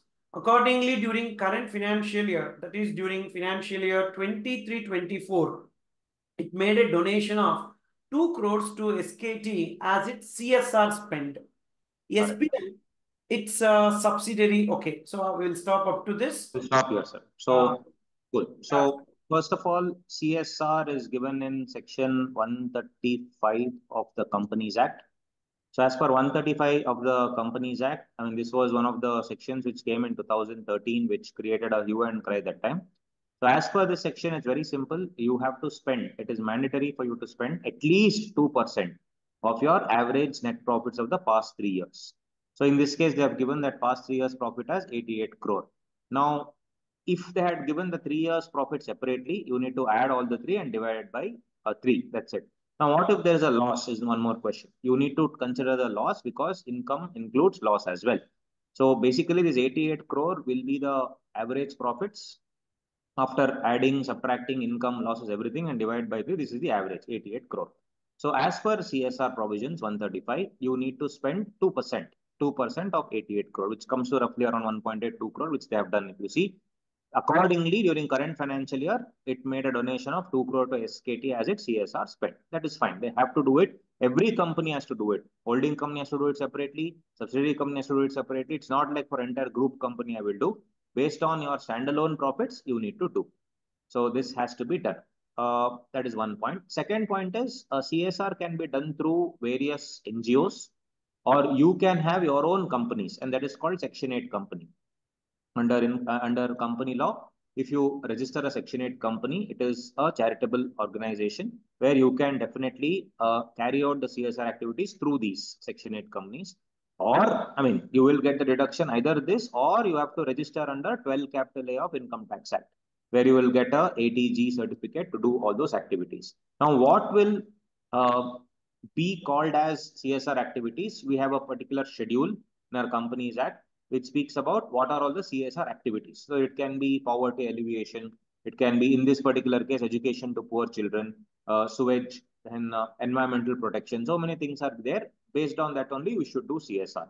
These one day activities like uh, your TCS has this one day run, one day marathon, all this will not be covered. Uh, similarly, if, for example, if I have a, a solar paneling, Chinnaswamy Stadium has done solar pan paneling uh, for the entire stadium though it has spent only for itself, it is actually saving electricity and the electricity is being used to electrify two villages in uh, Kolar, KGF, Kolar Goldfields. So basically, essentially, you have to see the facts of the case. All these will be CSR. So in this question, that has happened. Now, can I also take money from outside, donation from outside and do it? Yes. But should I spend money outside? In the sense, can I, can one company in India spend money outside India? Can I donate it to some Singaporean trust? That is not possible because CSR, you have to endeavor to obviously spend in India. Spend in India. Objective is India only. That is the reason why CSR came. So in that regard, this entire provision they have given. So 88 crore into 2% is roughly around 2 crore, which they have already spent. Mind you, 2 crore is minimum. Can you spend little more also if you want? Yes. There is also now uh, slightly carry forward benefit, etc. will be given. you can carry it forward to many. We'll see that years that is not relevant now. Apart from that, can you like uh, spend less? So can I just spend one crore is the question. The answer is no. For that also, there are uh, provisions where you need to. Uh, what, what would be the consequence if I don't spend? Just want to understand like. So earlier, now there is a fine. Earlier, Mhm. that this fine came just two years ago. Earlier, it was just either comply or explain in the notes to account, explain in the board report. Explain in Okay. the board report. So now there is a fine and also there is a general penalty clause of 50,000 rupees if you uh, don't do it. Apart from that, there's nothing much. No, because Basic- if I have to spend uh, five crore, la- maybe maybe beneficial to pay fine itself instead of That's what. That is so when this provision came, no, the person who was laughing at this provision was Ratan Tata because Ratan Tata ji actually donates almost 40 50% of his company's uh, thing into CSR anyway. So this 2% is peanuts. But then if you don't spend this 2%, it will uh, obviously you the companies will lose space because I mean in the capitalistic economy you are earning so much. Can't you just donate 2% back to society is the question. So they are telling you, you let's say if you are you run a hospital, it's okay for your employees also and for outsiders also, no problem. But try to donate is what this section. The intention of the section is you have to do it. Though there is no hard and fast rule, but now of course, uh, fine Mm. uh, is there, but it's peanuts. So as you said, it's a few lakhs of rupees.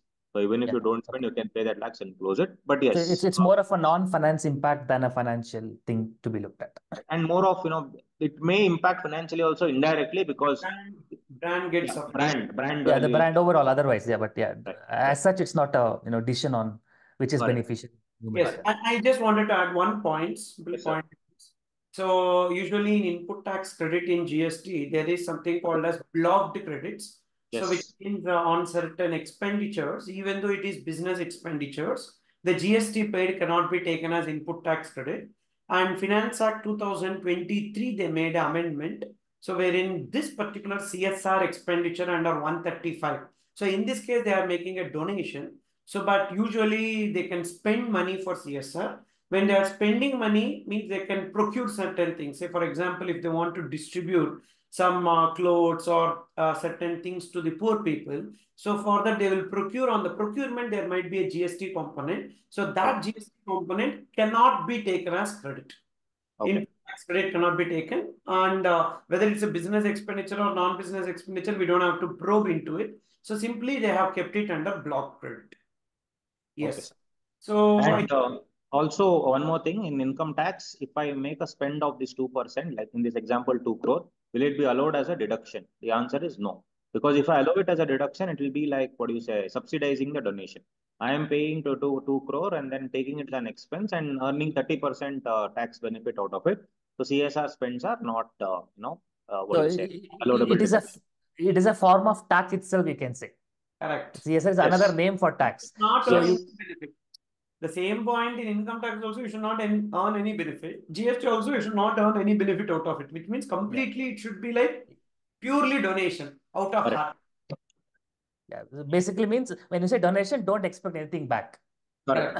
that, that that's the meaning of it. Yeah. So in 21, I think there were some provisions were changed also. I told you a couple of years ago where uh, they told even officer in default, that is all the directors, uh, the CFO, etc., they also will be liable. They have to transfer like one tenth of the amount which you have not transferred to a separate fund. All those provisions came.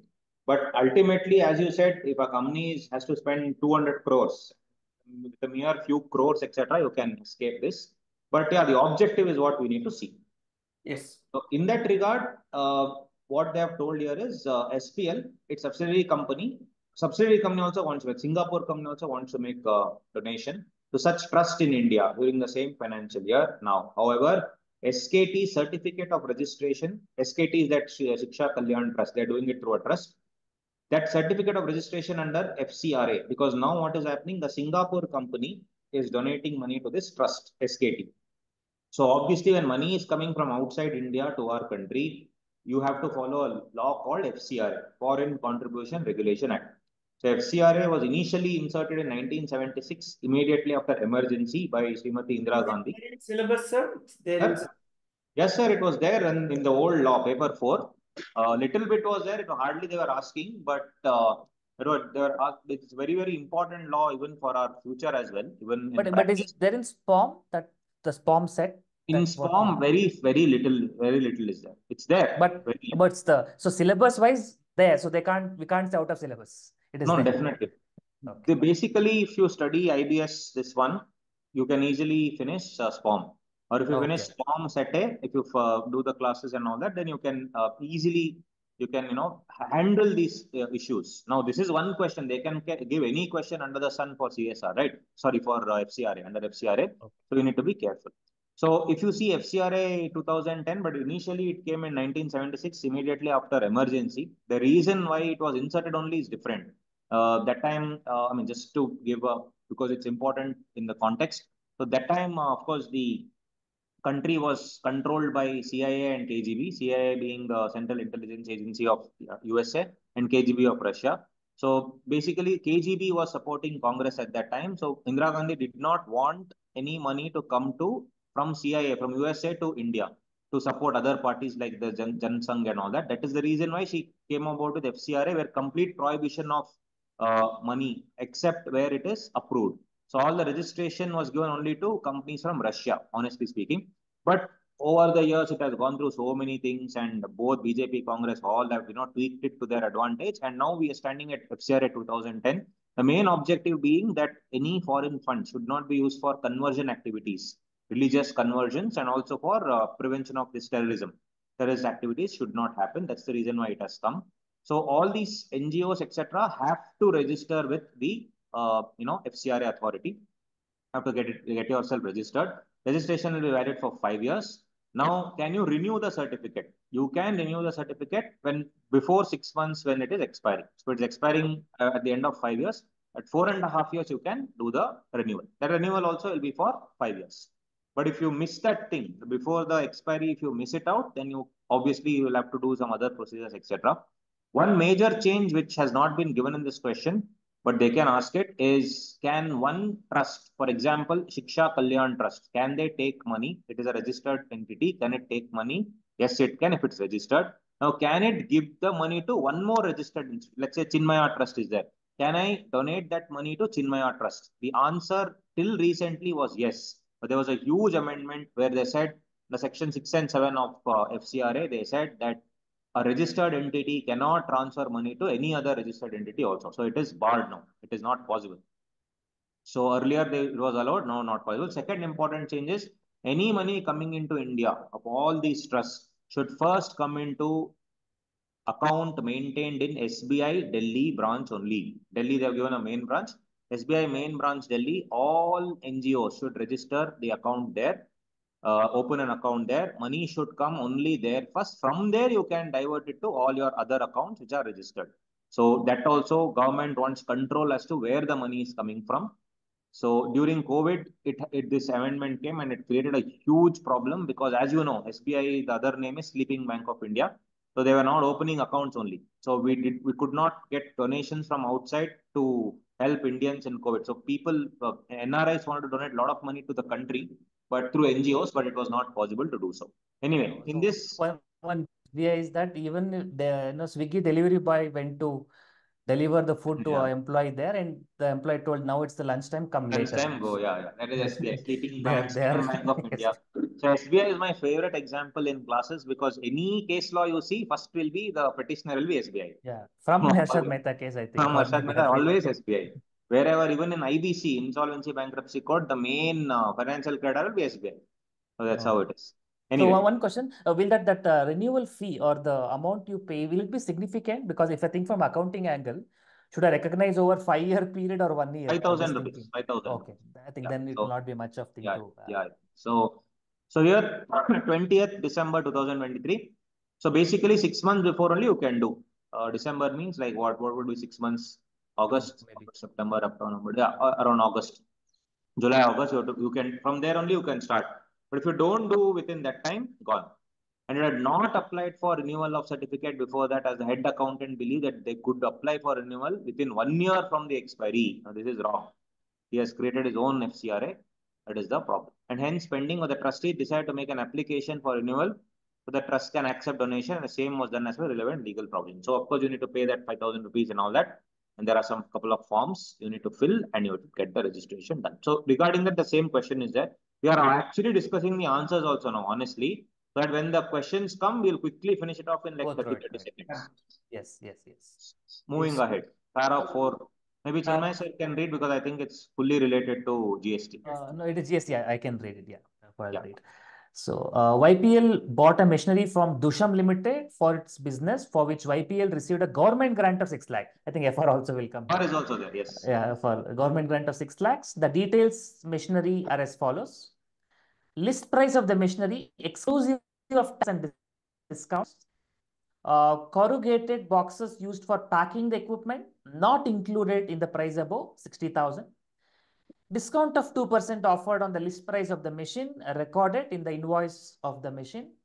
As part of its policy, YPL depreciates its plant and machinery at 20% on straight line basis and also does not claim depreciation on GST component included in the price of plant and machinery. I think Yes. I think third sir can explain first, then I'll put the FR uh, element of it. So first, uh, with respect to this uh, GST perspective, YPL bought the machinery from Dusham Limited. Means Dusham Limited is the seller, YPL is the buyer. For its business for which YPL received a government grant of 6 lakhs. So here, seller has not received the grant. Buyer has received the grant. Hmm. So therefore, from the GST perspective, there is no issue. Because GST implications, this is like a subsidy. Actually, grant in accounting, it is called as grant, but it is in grant, but the better name is subsidy for things like buying electric vehicles or buying solar panels. They might give those kind of things. So usually what happens is that uh, electric bikes or as you rightly said, electric bikes or electric cars when you are buying, so the dealer will get that subsidy from the government. So that is this. And uh, but here, uh, surprisingly, the subsidy is not received by the seller. The subsidy is received by the buyer. So this is not going to have impact on the valuation under GST.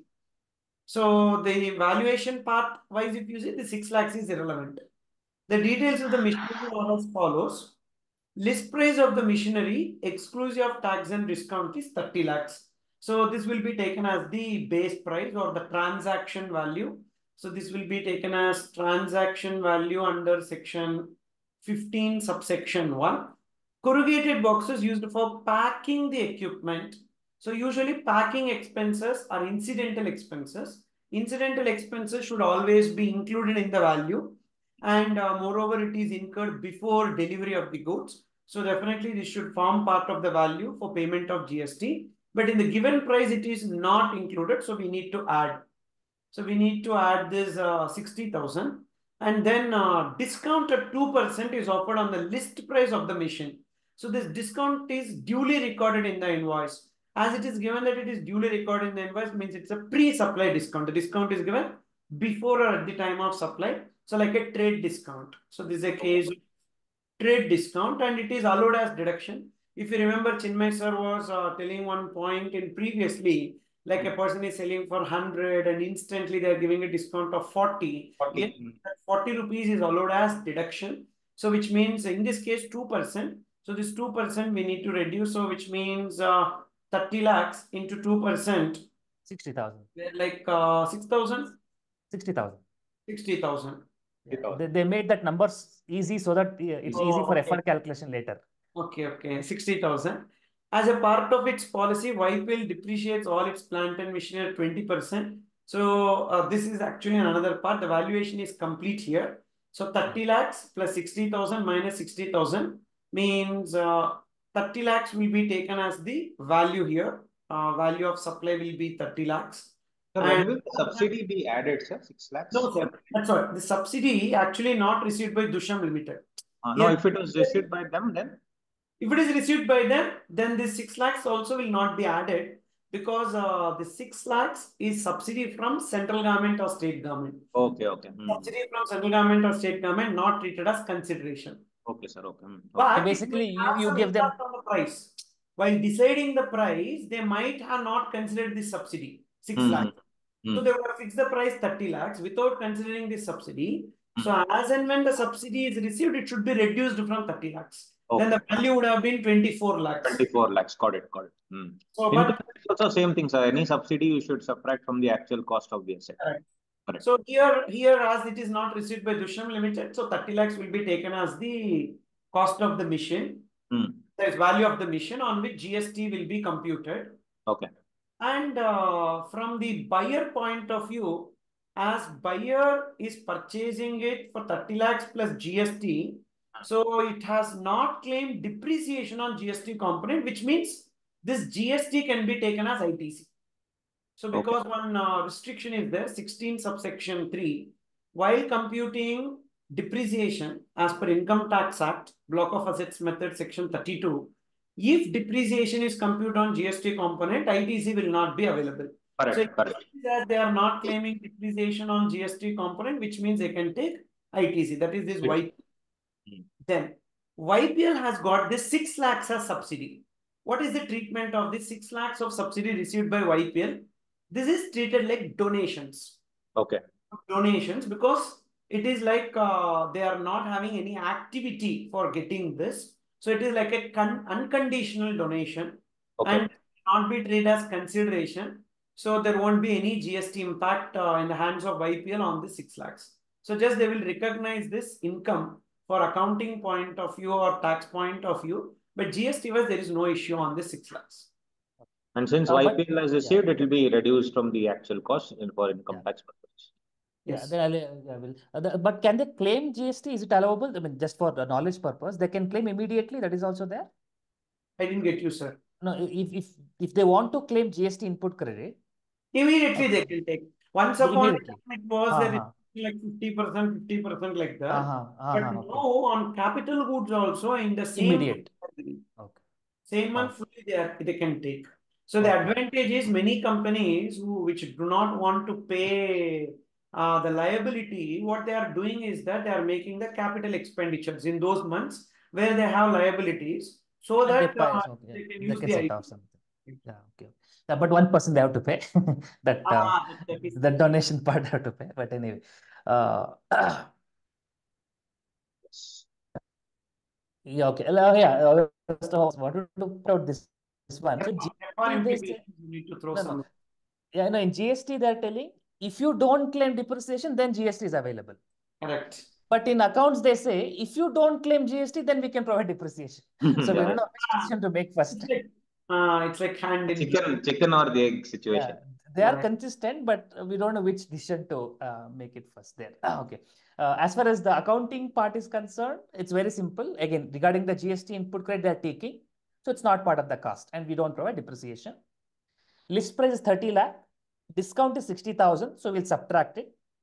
And uh, these boxes which are expenses incurred will be capitalized because until the asset is ready for use, all the carriage inwards, insurance, uh, clearing charges, customs, everything we will add. So basically it becomes 30 lakhs plus 60,000 minus 60,000. Effectively it becomes 30 lakh only. Uh, depreciate out 20%. Now as for the grant is concerned, Ind AS 20 is same as AS 12. So uh, Punarvas sir told that for the purpose of income tax, you subtract the grant from the asset yes. and you provide depreciation for the remaining amount. Uh, as far as accounting is concerned, they will give you choice. You can show either of the policy. Policy 1, as just Punarvas sir told, 30 lakh uh, minus, uh, 6 lakh. So on 24 lakh, you provide the depreciation over 20%. That is remaining 5 years you provide. The depreciation will happen. That is one choice. The second choice is you show the asset at 30 lakhs only and you provide depreciation on 30 lakh over a period of five years, 20%. Another one is uh, grant you receive, you maintain a separate account called as deferred grant account. So okay. you maintain one asset account and you maintain one deferred grant account, essentially liability account. And in the proportion of depreciation, it goes to P&L the deferred right. income also goes to P&L. Mathematically, you see it has no impact because mm. 30 lakh, if you apply 20%, you get 6 lakhs. Correct. And if you apply it on 24 lakhs, uh, if you calculate 20%, uh, I think you get 4.8 lakhs. Yeah, 4.8 lakhs. So 4.8 lakh is net depreciation. If I show gross method, overall depreciation is 6 lakh, 30 lakh into 20%, 6 lakh. And this 6 lakh will be spread across 5 years, which is 1 lakh 20,000. 6 lakh minus 1.2, that also comes to same 4.8 lakhs. So overall net to net basis, profit is not impacted, but balance sheet reporting is different. So one my option, you show 30 lakhs and uh, 6 lakhs separately. Second option, 30 lakh minus 6 lakh, you show it on net basis 24 lakhs. But ultimate Will, impact on P&L wise, it is same. So the choice deferred, deferred taxes impact also, Chinmay sir? No, deferred tax would not come because uh, the income tax, I mean, profit before tax will not change. Right. So it is the same, correct. The net expense would be same. So 6 lakh depreciation you show and 1 lakh 20 the deferred income you show. So effectively 4 lakh 80,000 would be the impact on uh, P&L account. So whichever policy you adopt in the in the notes to accounts, you have to mention that company followed the method of net basis or the gross basis. Right. So, I mean, I generally ask students whether what's the difference between, I mean, uh, for example, I ask is depreciation an accounting principle or a policy? So many people tell it's a policy policy. Actually, it's a principle. It's a rule. Policy is the method of applying that principle. So even to qualify simply to teach them, I say, tell me is depreciation accounting policy or principle? Most of the time they say it's policy because that's what we know. But no, the method of applying that. Yeah. No, now things have changed one more level. It is neither principle nor policy. For Ind AS, it has become an estimate. Okay. So the accounting policy is the cost model, revaluation model. So okay. if you change from straight line method to WDV, whenever you change an accounting policy, we used to do something called as retrospective method. Retrospective effect. Even now it is there when you change a policy. But because this is not a policy, they call oh. accounting estimate, estimate, no retrospective accounting. Okay, okay. Change from straight line to WD. Yeah, but I remember I did this retrospective calculation. foundation maybe. straight line, foundation, yeah. and we calculation. That. Now so, things is very simple.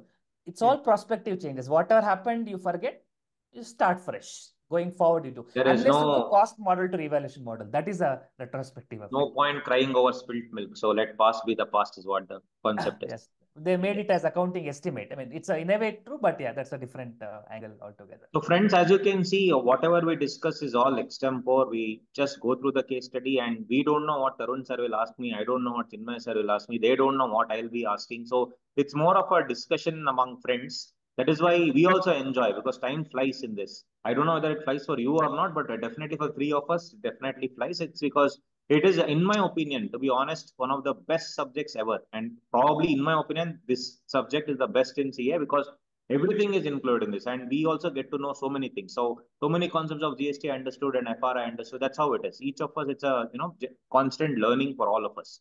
So you also take it the, that way, the, on the flip side, by doing this, we don't know whether we may end up in doing practice more or than continuing classes because we know yeah. the knowledge. No, we are tempted to use it more in real right. life as well. yeah. Right. Anyway, so the last paragraph is finally. Last actually, we have uh, discussed all the answers. To be honest with you, we'll just uh, go to the questions later after this last paragraph. Uh, I will just take it up, no problem. Uh, last paragraph goes like this. Sir, I'll read, sir. Actually, it is related to income tax. I'll read. Oh, okay, sir. Okay, sir. Go ahead. But some CIF and all is there. no, that sir can throw light. CIF. That, so many things in, I think, IDT we use that CIF and all. Yeah. Yes, sir. On 24 January 2024, YPL supplied 2000 metric tons steel pipes to SPL at 1 lakh per metric ton on CIF basis. CIF is cost, insurance and freight basis, which means uh, I have collected money even for the insurance and freight. So means I need to deliver the product to the customer in his port. Insurance and freight of 11,000 per metric ton were included in it. Also, on 5th February 2024, it made a supply of 3000 metric ton steel pipes to another Singapore-based company, Uno PTE Limited, UPL, at 95,000 per metric ton on FOB basis, for which the payment was to be made of Singapore dollar 5 crore 70 lakhs in three months and so in order to protect itself from exchange rate fluctuations, YPL hedged receipt of such foreign currency in the forward market. So let me complete the customs part and then uh, can share the income tax. Actually, transfer pricing will come. So these two are connected here.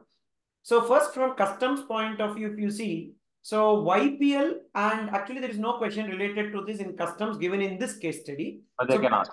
Can be asked. So hmm. YPL and SPL are related. This is the first point discussion we made in the beginning. That is, they are related under each and every subject.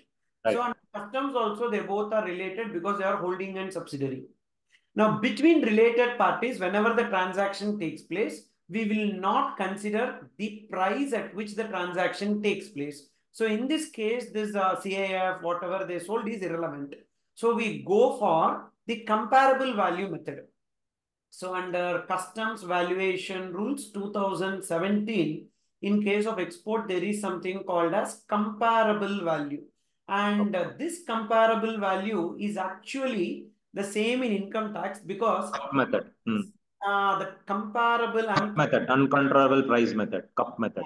the same method, cup method is here. But while doing the comparable method, the difference in the price needs to be considered. For example, here uh, they are selling on CIF basis, but the comparable transaction is on FOB basis. FOB basis, yes. So then in that case, what we need to do is that, so we need to take the comparable value as FOB only for the purpose of customs. For the purpose of customs, we need to take FOB because in case of export, in case of export, the value will be FOB value. But Hmm. income tax, it will change. Income tax, it will change for the purpose of customs. FOB value only will be taken as the value for payment of customs duty. So that FOB value in this case is 95,000 per metric ton. And on that applicable customs duty is computed. Okay. Applicable customs duty is computed. So whatever, but depends whether the export is chargeable to customs or not, depending upon this product. If the product is chargeable to customs duty, we need to pay customs duty. Otherwise, we don't have to pay customs duty on this because as we know, majority of the products uh, exported from India are not leviable under customs. Only few, uh, like some 50 entries are there. Only those goods are chargeable to customs duty on export. So Correct. it depends because as they have not given any rate and all. So, but uh, maybe they give rate on this, we need to pay customs duty. And depending upon number of metric tons, so they have given 2000 metric tons, so 2000 into 95,000 into the customs duty. But remember, only basic customs duty is payable if applicable.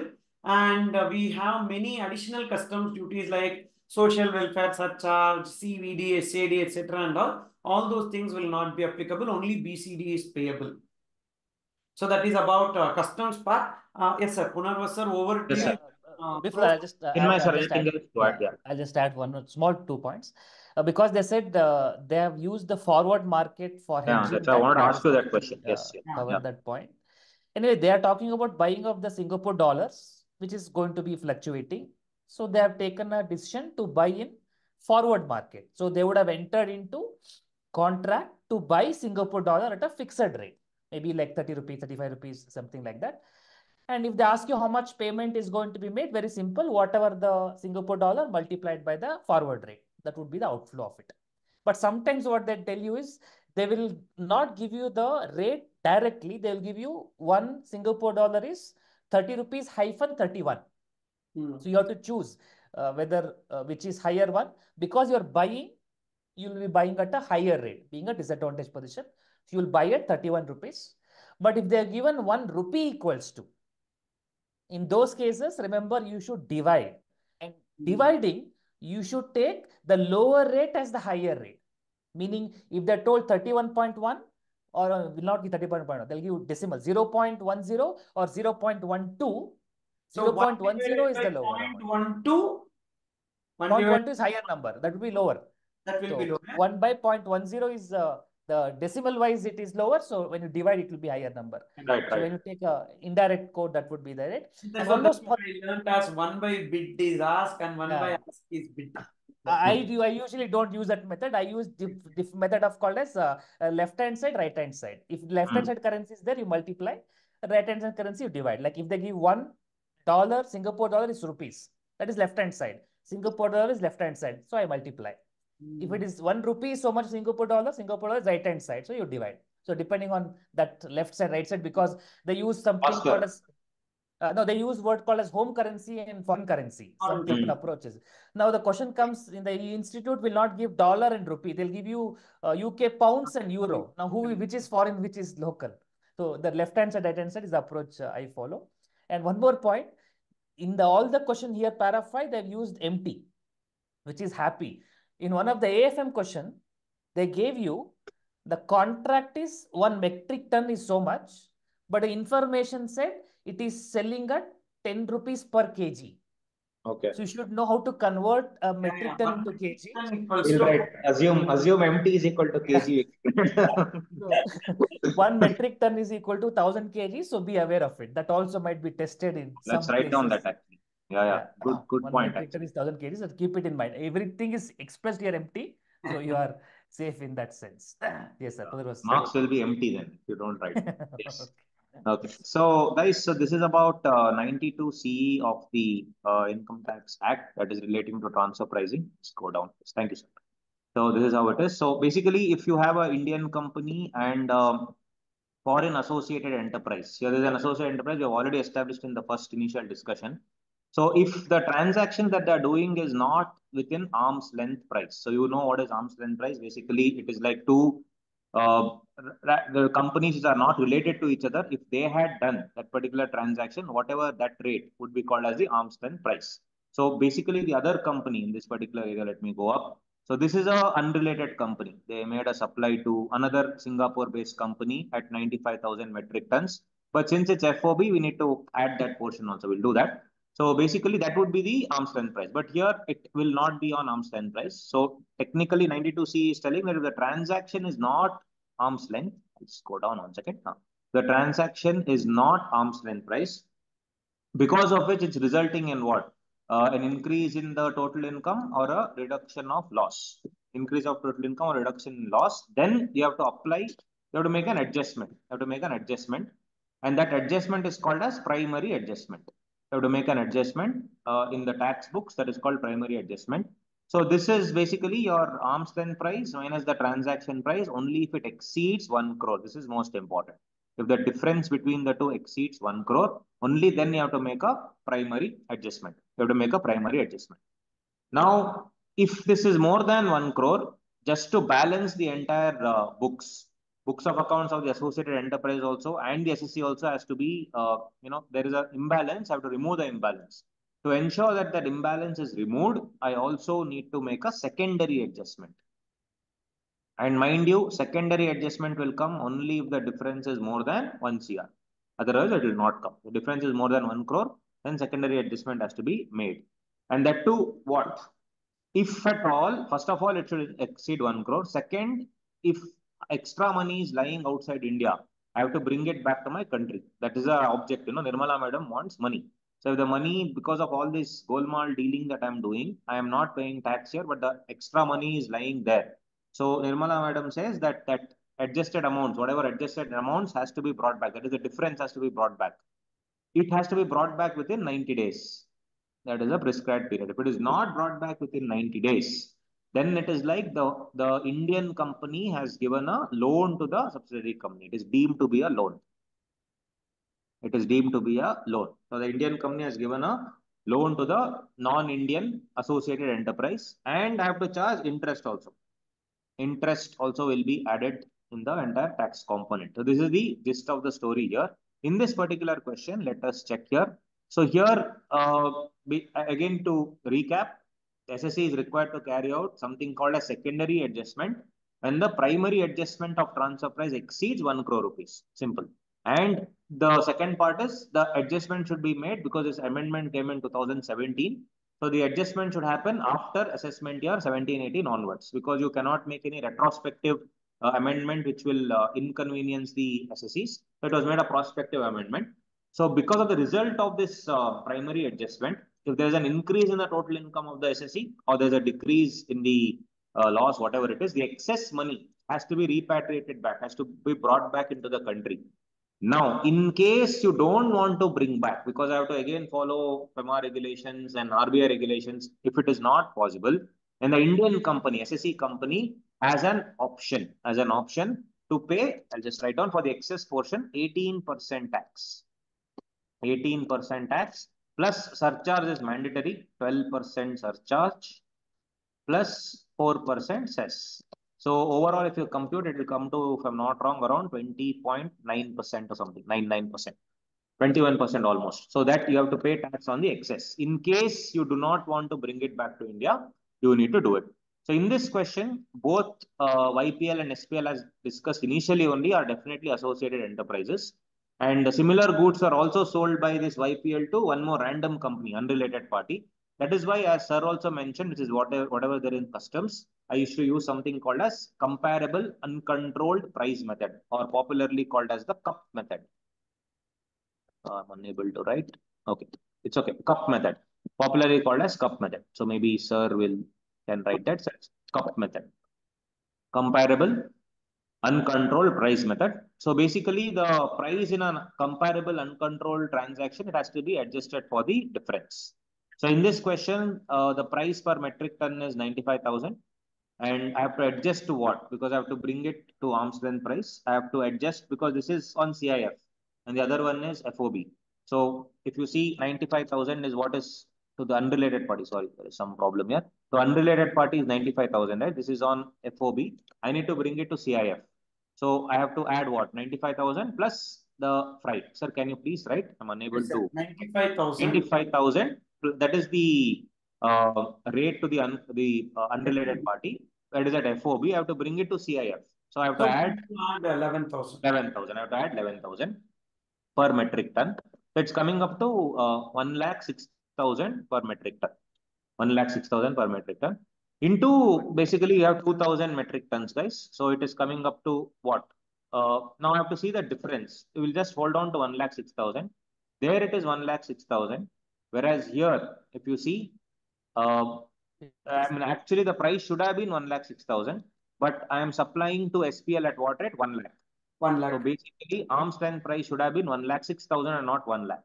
Correct. So the difference is 6, uh, 6,000 6,000. is the shortage. Okay. 6,000 per metric ton is the shortage or the excess which has to be collected into 2,000. Into Into 2,000. Okay. So if you do that, it comes up to 1.2 crores. It's 1.2 crores. And Which as discussed initially, uh, Which is the, yes, it is more than 1 crore. So definitely primary adjustment gets attracted.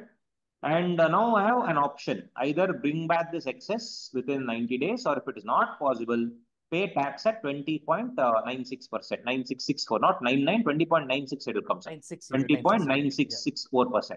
20.9664%. You pay the tax and close the deal. So on, On what this one, one, one crore 20 lakh. on one crore, uh, on, yeah, on this, uh, this thing. What is that? One, uh, one, 1.2 crore excess. Yeah. On Okay. 1.2 crore, which I should have received. I'll have to pay a tax, so no need to keep that money there only, but you pay this tax. Nirmala madam wants the tax, that's all. She doesn't care about the money coming in. So 1.2 crores into 20.9664% if you do, it'll come up to around, uh, that is the first question, dear friends. That is the first question. Sir, the first question answer would be option number B then. Uh, should we explain that 20.64? They understand. Which one? Uh, that the 20.6 is for they understand the tax rate or should we Yeah, I explained, no, it is 18% plus 12%. I know, but it's 18 into Okay, 1.12 so into 18 into 1.04. I don't 12%. That I think uh, at this level. They'll, they'll be able to follow it, no? Yeah, Yeah, okay, okay. Because they would have done DT also and everything, and even Hopefully. I think dt also is like the same only. Sure. So yeah, that they'll know. So eight, eight, 12% of 18% and whatever you figure you get on that 4% you add. So it will come up to 20.9664. So if you do the math on that 20.9664% of 1.2 crore will give me option number B as the answer. 15,970. Yes, sir. 25 lakh 59. So guys, we have already discussed the question answers. Quickly, we'll finish off. Second question. Second question is also related to me only. We'll read it quickly and I'll finish it off. There is some now everything uh, is going haywire. Yeah. Second one. Question, sir. Yeah. With reference to information given in para number one, whether any formalities would have to be com uh, complied by YPL. Guys, I already discussed as per section 188.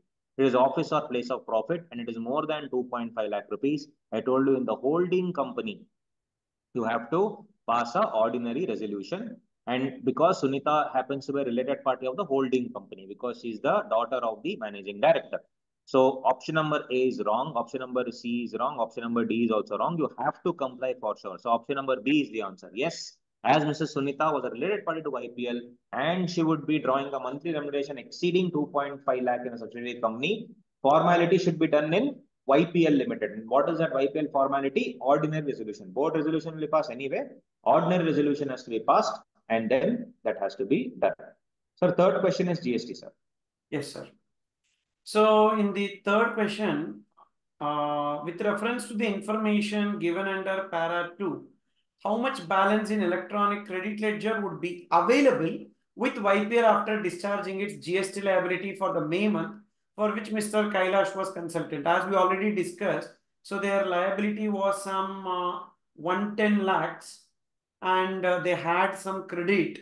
So, but this 110 lakhs, they have to pay 1% 1%. through cash ledger, which is 1 lakh 10,000. Mm-hmm.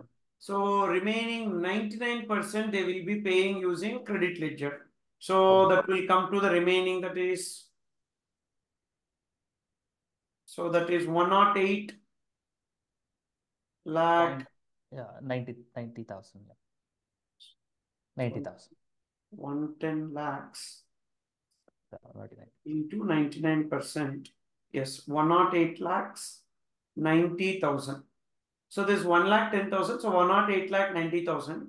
And uh, they have got some credit. So that credit also we have seen in that some opening balance, some 60 lakhs plus some 57 Thirty- yeah, lakhs. 50. So that is the credit. So the answer I'm just showing you. So here, yeah. Yes. So they had a credit of 56 plus 60, 116. So but 108 lakh 90,000 only they can use from the credit. So the balance will be 7 lakh 10,000. 10,000. So that 7 lakh 10,000 will be the answer for this. So which already we discussed. So Uh, okay, this is uh, this is as per the GST records, right? Because as per accounts, it will be different. accounts it will be different as per GST records. So this is the balance in uh, credit ledger. But clearly they asked electronic Yeah. credit It will be for GST on this. Yeah. Ah, Yes. electronic credit ledger is a ledger which is maintained by GST network on behalf of the registered person. So we will maintain input tax credit ledger. So that is for accounting. This electronic credit ledger they will maintain. So therefore, uh, definitely it is as per GST records only. Then this question, fourth question. FCRA, sir, I'll read out. With reference to the information given under para three, till what time period? I told you it can be done b- b- six months before the Last- expiry. Yeah, five years and six six thousand. months. Yeah, that's the thing. Yeah. So okay. option B, option B is the answer. Six months before the expiry. December expires. So, uh, to, to, to- We filed with a fee of 5,000. Five thousand. Then then uh, the next next one is question yours. is related to Oh. machinery. What is the value of supply of machinery? Already we did the computation. It will be 30 that lakhs. is 30 lakhs. Not 30 lakhs, 60,000. The 30 lakhs plus 60,000 Minus 60,000. so then. minus 60,000. So that Yeah. will to you know 30 lakhs. 30 lakhs. Yeah. Same thing like accounts there. Yeah. Descriptive questions. Sir, first two questions is auditing, which I have actually explained fully You during. explained. Yes. So And the last question, uh, uh, Chinmay sir, go through. India Yes. Sir can take the last. Yeah, with reference to the information below, show the statement of profit and loss and extract of balance sheet in respect of uh, grant grants. So two methods we discussed. Either you can show it on gross basis, net basis. The same thing they are showing it here. So when the government is, I mean, the, when the government grant is uh, treated on uh, gross basis, you can see here depreciation is charged on 30 lakh 20% without taking grant into consideration. Then the grant, grant was 6 lakh, it's spread across five years. So that's how they got 1 lakh 20,000. Right. So uh, to, the, it- is in the same proportion as with respect to uh, depreciation. But Just one small point here is because it was straight line method, you can simply divide by 5. What Mm, if it was WDV method? You can't apply that rate here. mm. So you have to calculate under WDV method, year one, what is depreciation, year two, year three, year four, year five. In this proportion, you have to divide the 6 lakh. For And five years, you can You don't have that problem. GST always deemed useful life of the asset is five years. Five years. Okay, that's what they're given. Yeah, here you have to do in the proportion. So as far balance sheet is concerned, okay, a small point, I think you should uh, explain this. Uh, non-current assets, that is fixed assets, 30 lakh minus 6 lakh depreciation, 24 lakh, that is uh, asset minus depreciation. Okay, this one I have to explain. 6 lakh is the amount of grant received. 1 lakh 20,000 went to P&L account. Hmm. So remaining 4.8 lakhs will come in balance sheet. Hmm. And this 4.8 lakhs, we should divide this into current liability and non-current liability. Oh, Current portion, non-current portion. That is because of this 4.8 lakh, 1.2 lakh will come in the next year. Within 12 months, it will hit P&L. Okay. So 1.2 will be reported as current and Okay. balance 3.6 will become non-current. When So we that did will be the- accounting, sir, we used to show 1.2, 4.8. Tail khatam. Yeah, that, that's how Correct. it used to close. Correct, Now you have to break it down. This at least is better. Imagine you have taken a loan. You are paying monthly installments. Correct, correct. So the next 12 month, how much loan that will become current and beyond that it becomes Mm. non-current. And you have to take out the interest part and all there. So that calculation part. So that is the non-current 3 lakh 60 and immediately next year what is likely to come that is current portion 1 lakh 20,000. That is on the part A. If it is the report on net basis, this confusion will not come. 30 lakh is the amount of asset, 6 lakh is the grant received, net amount is 24 lakh. And on Oh. 24 lakh, you apply 20%, straightforward, 4 lakh 80,000 depreciation. 24 lakh minus 4 lakh 80,000, net 19 lakh 20, no other current, non-current deferred income, those situation will not And come. we So can choose whichever method we want. Yeah, uh, you, but in exam you have to show both. Uh, Ah, or you write one and mention that other alternative is possible. Practically, you can choose, you can do uh, either of the methods. Yes, guys, with this we completed case study. Finally. Yeah. Which was given in RTP, but but actually four hours exam, and uh, because we explained a lot of other things, because of which only it will take time. So uh, don't think like uh, we will also take this much time like that because we explained a lot of other aspects. But otherwise, if you stick on to the question and answer, so yes, in one hour definitely you will be able to complete. And uh, there is no clarity about whether we need to give the reasoning for the MCQ. So that they have not given. If it is like I mostly I think it will be like OMR type only, wherein you need to just shade the MCQ ca- options and descriptive alone you need to write. But uh, let's wait uh, whether I say is Sir, giving but in paper 6D earlier, they had to write in the question paper only, sir. Uh, Option and reasoning they were writing that time. option Sorry. So then the So same. reasoning also they were expecting, is it? At that Huh? time, reasoning, they were expecting. Oh, they were giving uh, reasons also.